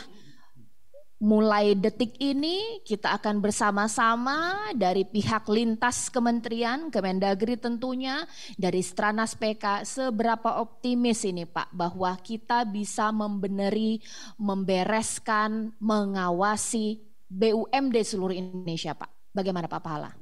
Terima kasih Mbak Caca. Jadi kalau lihat uh, numeriknya gitu, angka-angka empiriknya sebenarnya seperti saya sampaikan di awal, waktu kita paparkan ke Pak Mendagri juga beliau terkejut gitu, bahwa ini potensinya besar. Tapi kita bilang ya ini kan ada enaknya dan nggak enaknya. Kalau ngelihat potensi memang besar, tapi masalahnya juga besar. Gitu. Jadi yang masalah yang harus dibetulin soal yang sudah mau likuidasi kayak apa, yang berikutnya yang operasional rugi kayak apa, yang berikutnya lagi yang mati segan hidup juga enggak gitu ya Pak ya. Jadi Pak Fatoni bilang ya udah kita bersihin aja dulu yang ini.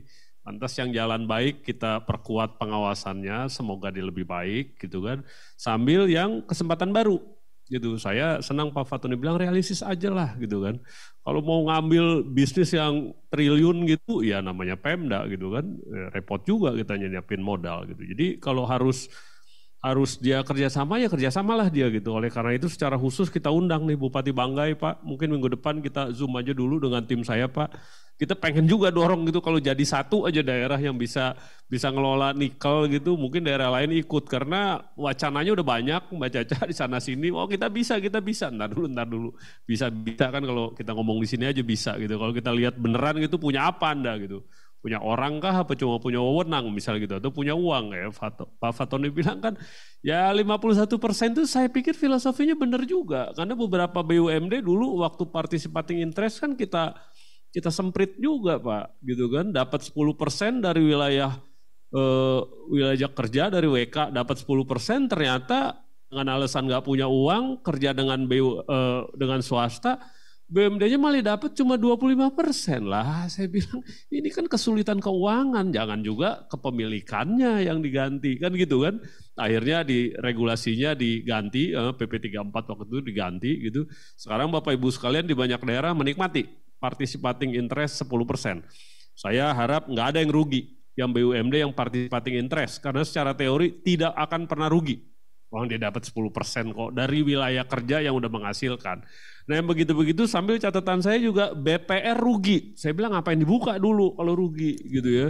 Jadi kita akan lihatin dengan Pak Fatoni ini yang yang yang dari data Pak Fatoni tadi BPR rugi, aneka usaha rugi, itu aneka usaha apa juga yang rugi gitu. Sehingga kalau ada daerah lain yang mau buka aneka usaha yang sama, Pak Fatoni bisa bilang, eh di daerah tertentu ini, ini saya kasih datanya nih, ternyata nggak menguntungkan, misalnya gitu ya pasar rugi gitu. Saya pikir nih mesti dilihat nih detailnya kok ada yang untung ada yang rugi gitu. Jadi saya dengan Pak Fatoni bilang kayaknya kita lupa satu fungsi kita. Fungsi fasilitasi ke kementerian harus lebih intens. Saya setuju Pak.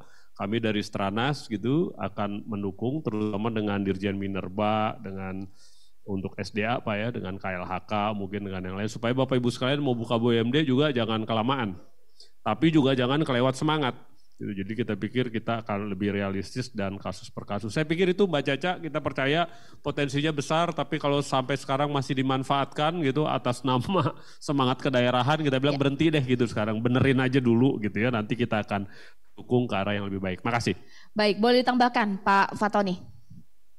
Baik Bapak Ibu, jadi saya kira semangat kita sama semua di daerah maupun di pusat. Hari ini kita mempunyai semangat yang sama untuk bisa membenahi BUMD agar bisa menguntungkan dan juga bisa memberikan pelayanan kepada masyarakat.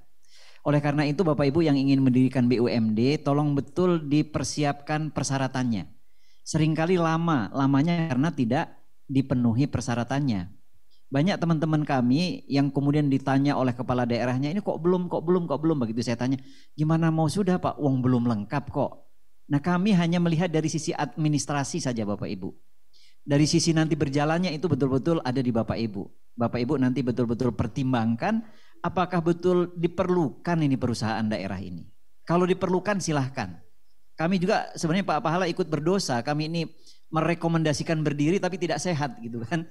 Tapi masalah sehatnya kami nggak mampu. Kami hanya ngecek di awal. Nah ini mari tugas kita bersama-sama. Nah Bapak Ibu Kepala Daerah kan yang tahu nih BUMD mana yang untung mana yang rugi. Yang pertama tahu itu Bapak Ibu kami nggak tahu. Nah kalau nggak dilaporkan. Maka perkuat SPI tadi koordinasi dengan uh, APIP yang ada di daerah masing-masing untuk ikut melakukan pembinaan dan pengawasan. Uh, nanti kalau ada masalah-masalah yang besar yang sulit kita pecahkan bersama. Dan kemudian kita sehatkan dari BUMD yang sudah ada. Sudah ada 959 yang masuk ke kami dan kami mohon kepada daerah-daerah yang belum melaporkan melaporkan ke kami biar kami bisa inventarisir dan kami bisa lakukan Eh, pendekatan, lakukan pemenahan sesuai dengan kondisi masing-masing. Kalau kita semangat, kalau kita bisa bersama-sama saya kira tujuan pendirian BUMD bisa kita wujudkan. Terima kasih. Terima kasih Pak Agus Fatoni, Direktur Jenderal Keuangan Daerah Kemendagri dan Pak Pahala Nenggolan di sini sebagai koordinator pelaksana Stranas PK.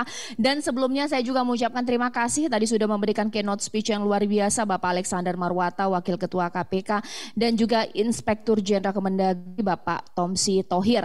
Saya juga mengucapkan terima kasih kepada daerah yang tadi sudah mengajukan pertanyaan. Mohon maaf tidak semua pertanyaan yang bisa kita bahas di hari ini karena keterbatasan waktu. Sekaligus saya mengingatkan ya untuk seluruh peserta jangan lupa isi link absen untuk e-sertifikat di kolom chat nanti Anda bisa mendapatkan e-sertifikat dan juga jangan lupa follow dan terus update perkembangan terbaru dari Instagram sosial media at stranas underscore official dan juga Twitter at stranas underscore PK dan Facebook dari Stranas PK dan juga laman resmi dari Stranas PK itu sendiri. Apa yang bisa saya simpulkan hari ini? Pastinya apa yang sudah disampaikan oleh daerah akan dirangkum, ditampung dari pihak Kemendagri.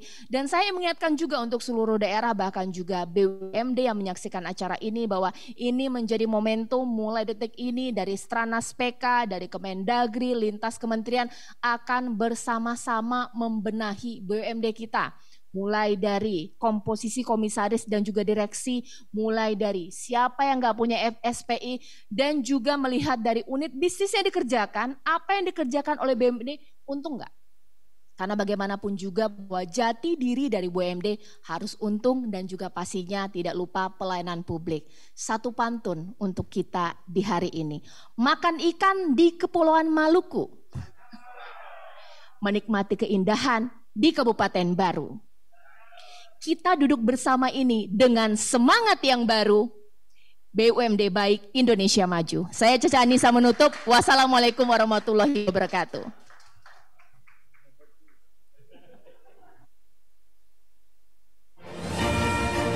Oke, saya kira sudah cukup Pak. Kasih.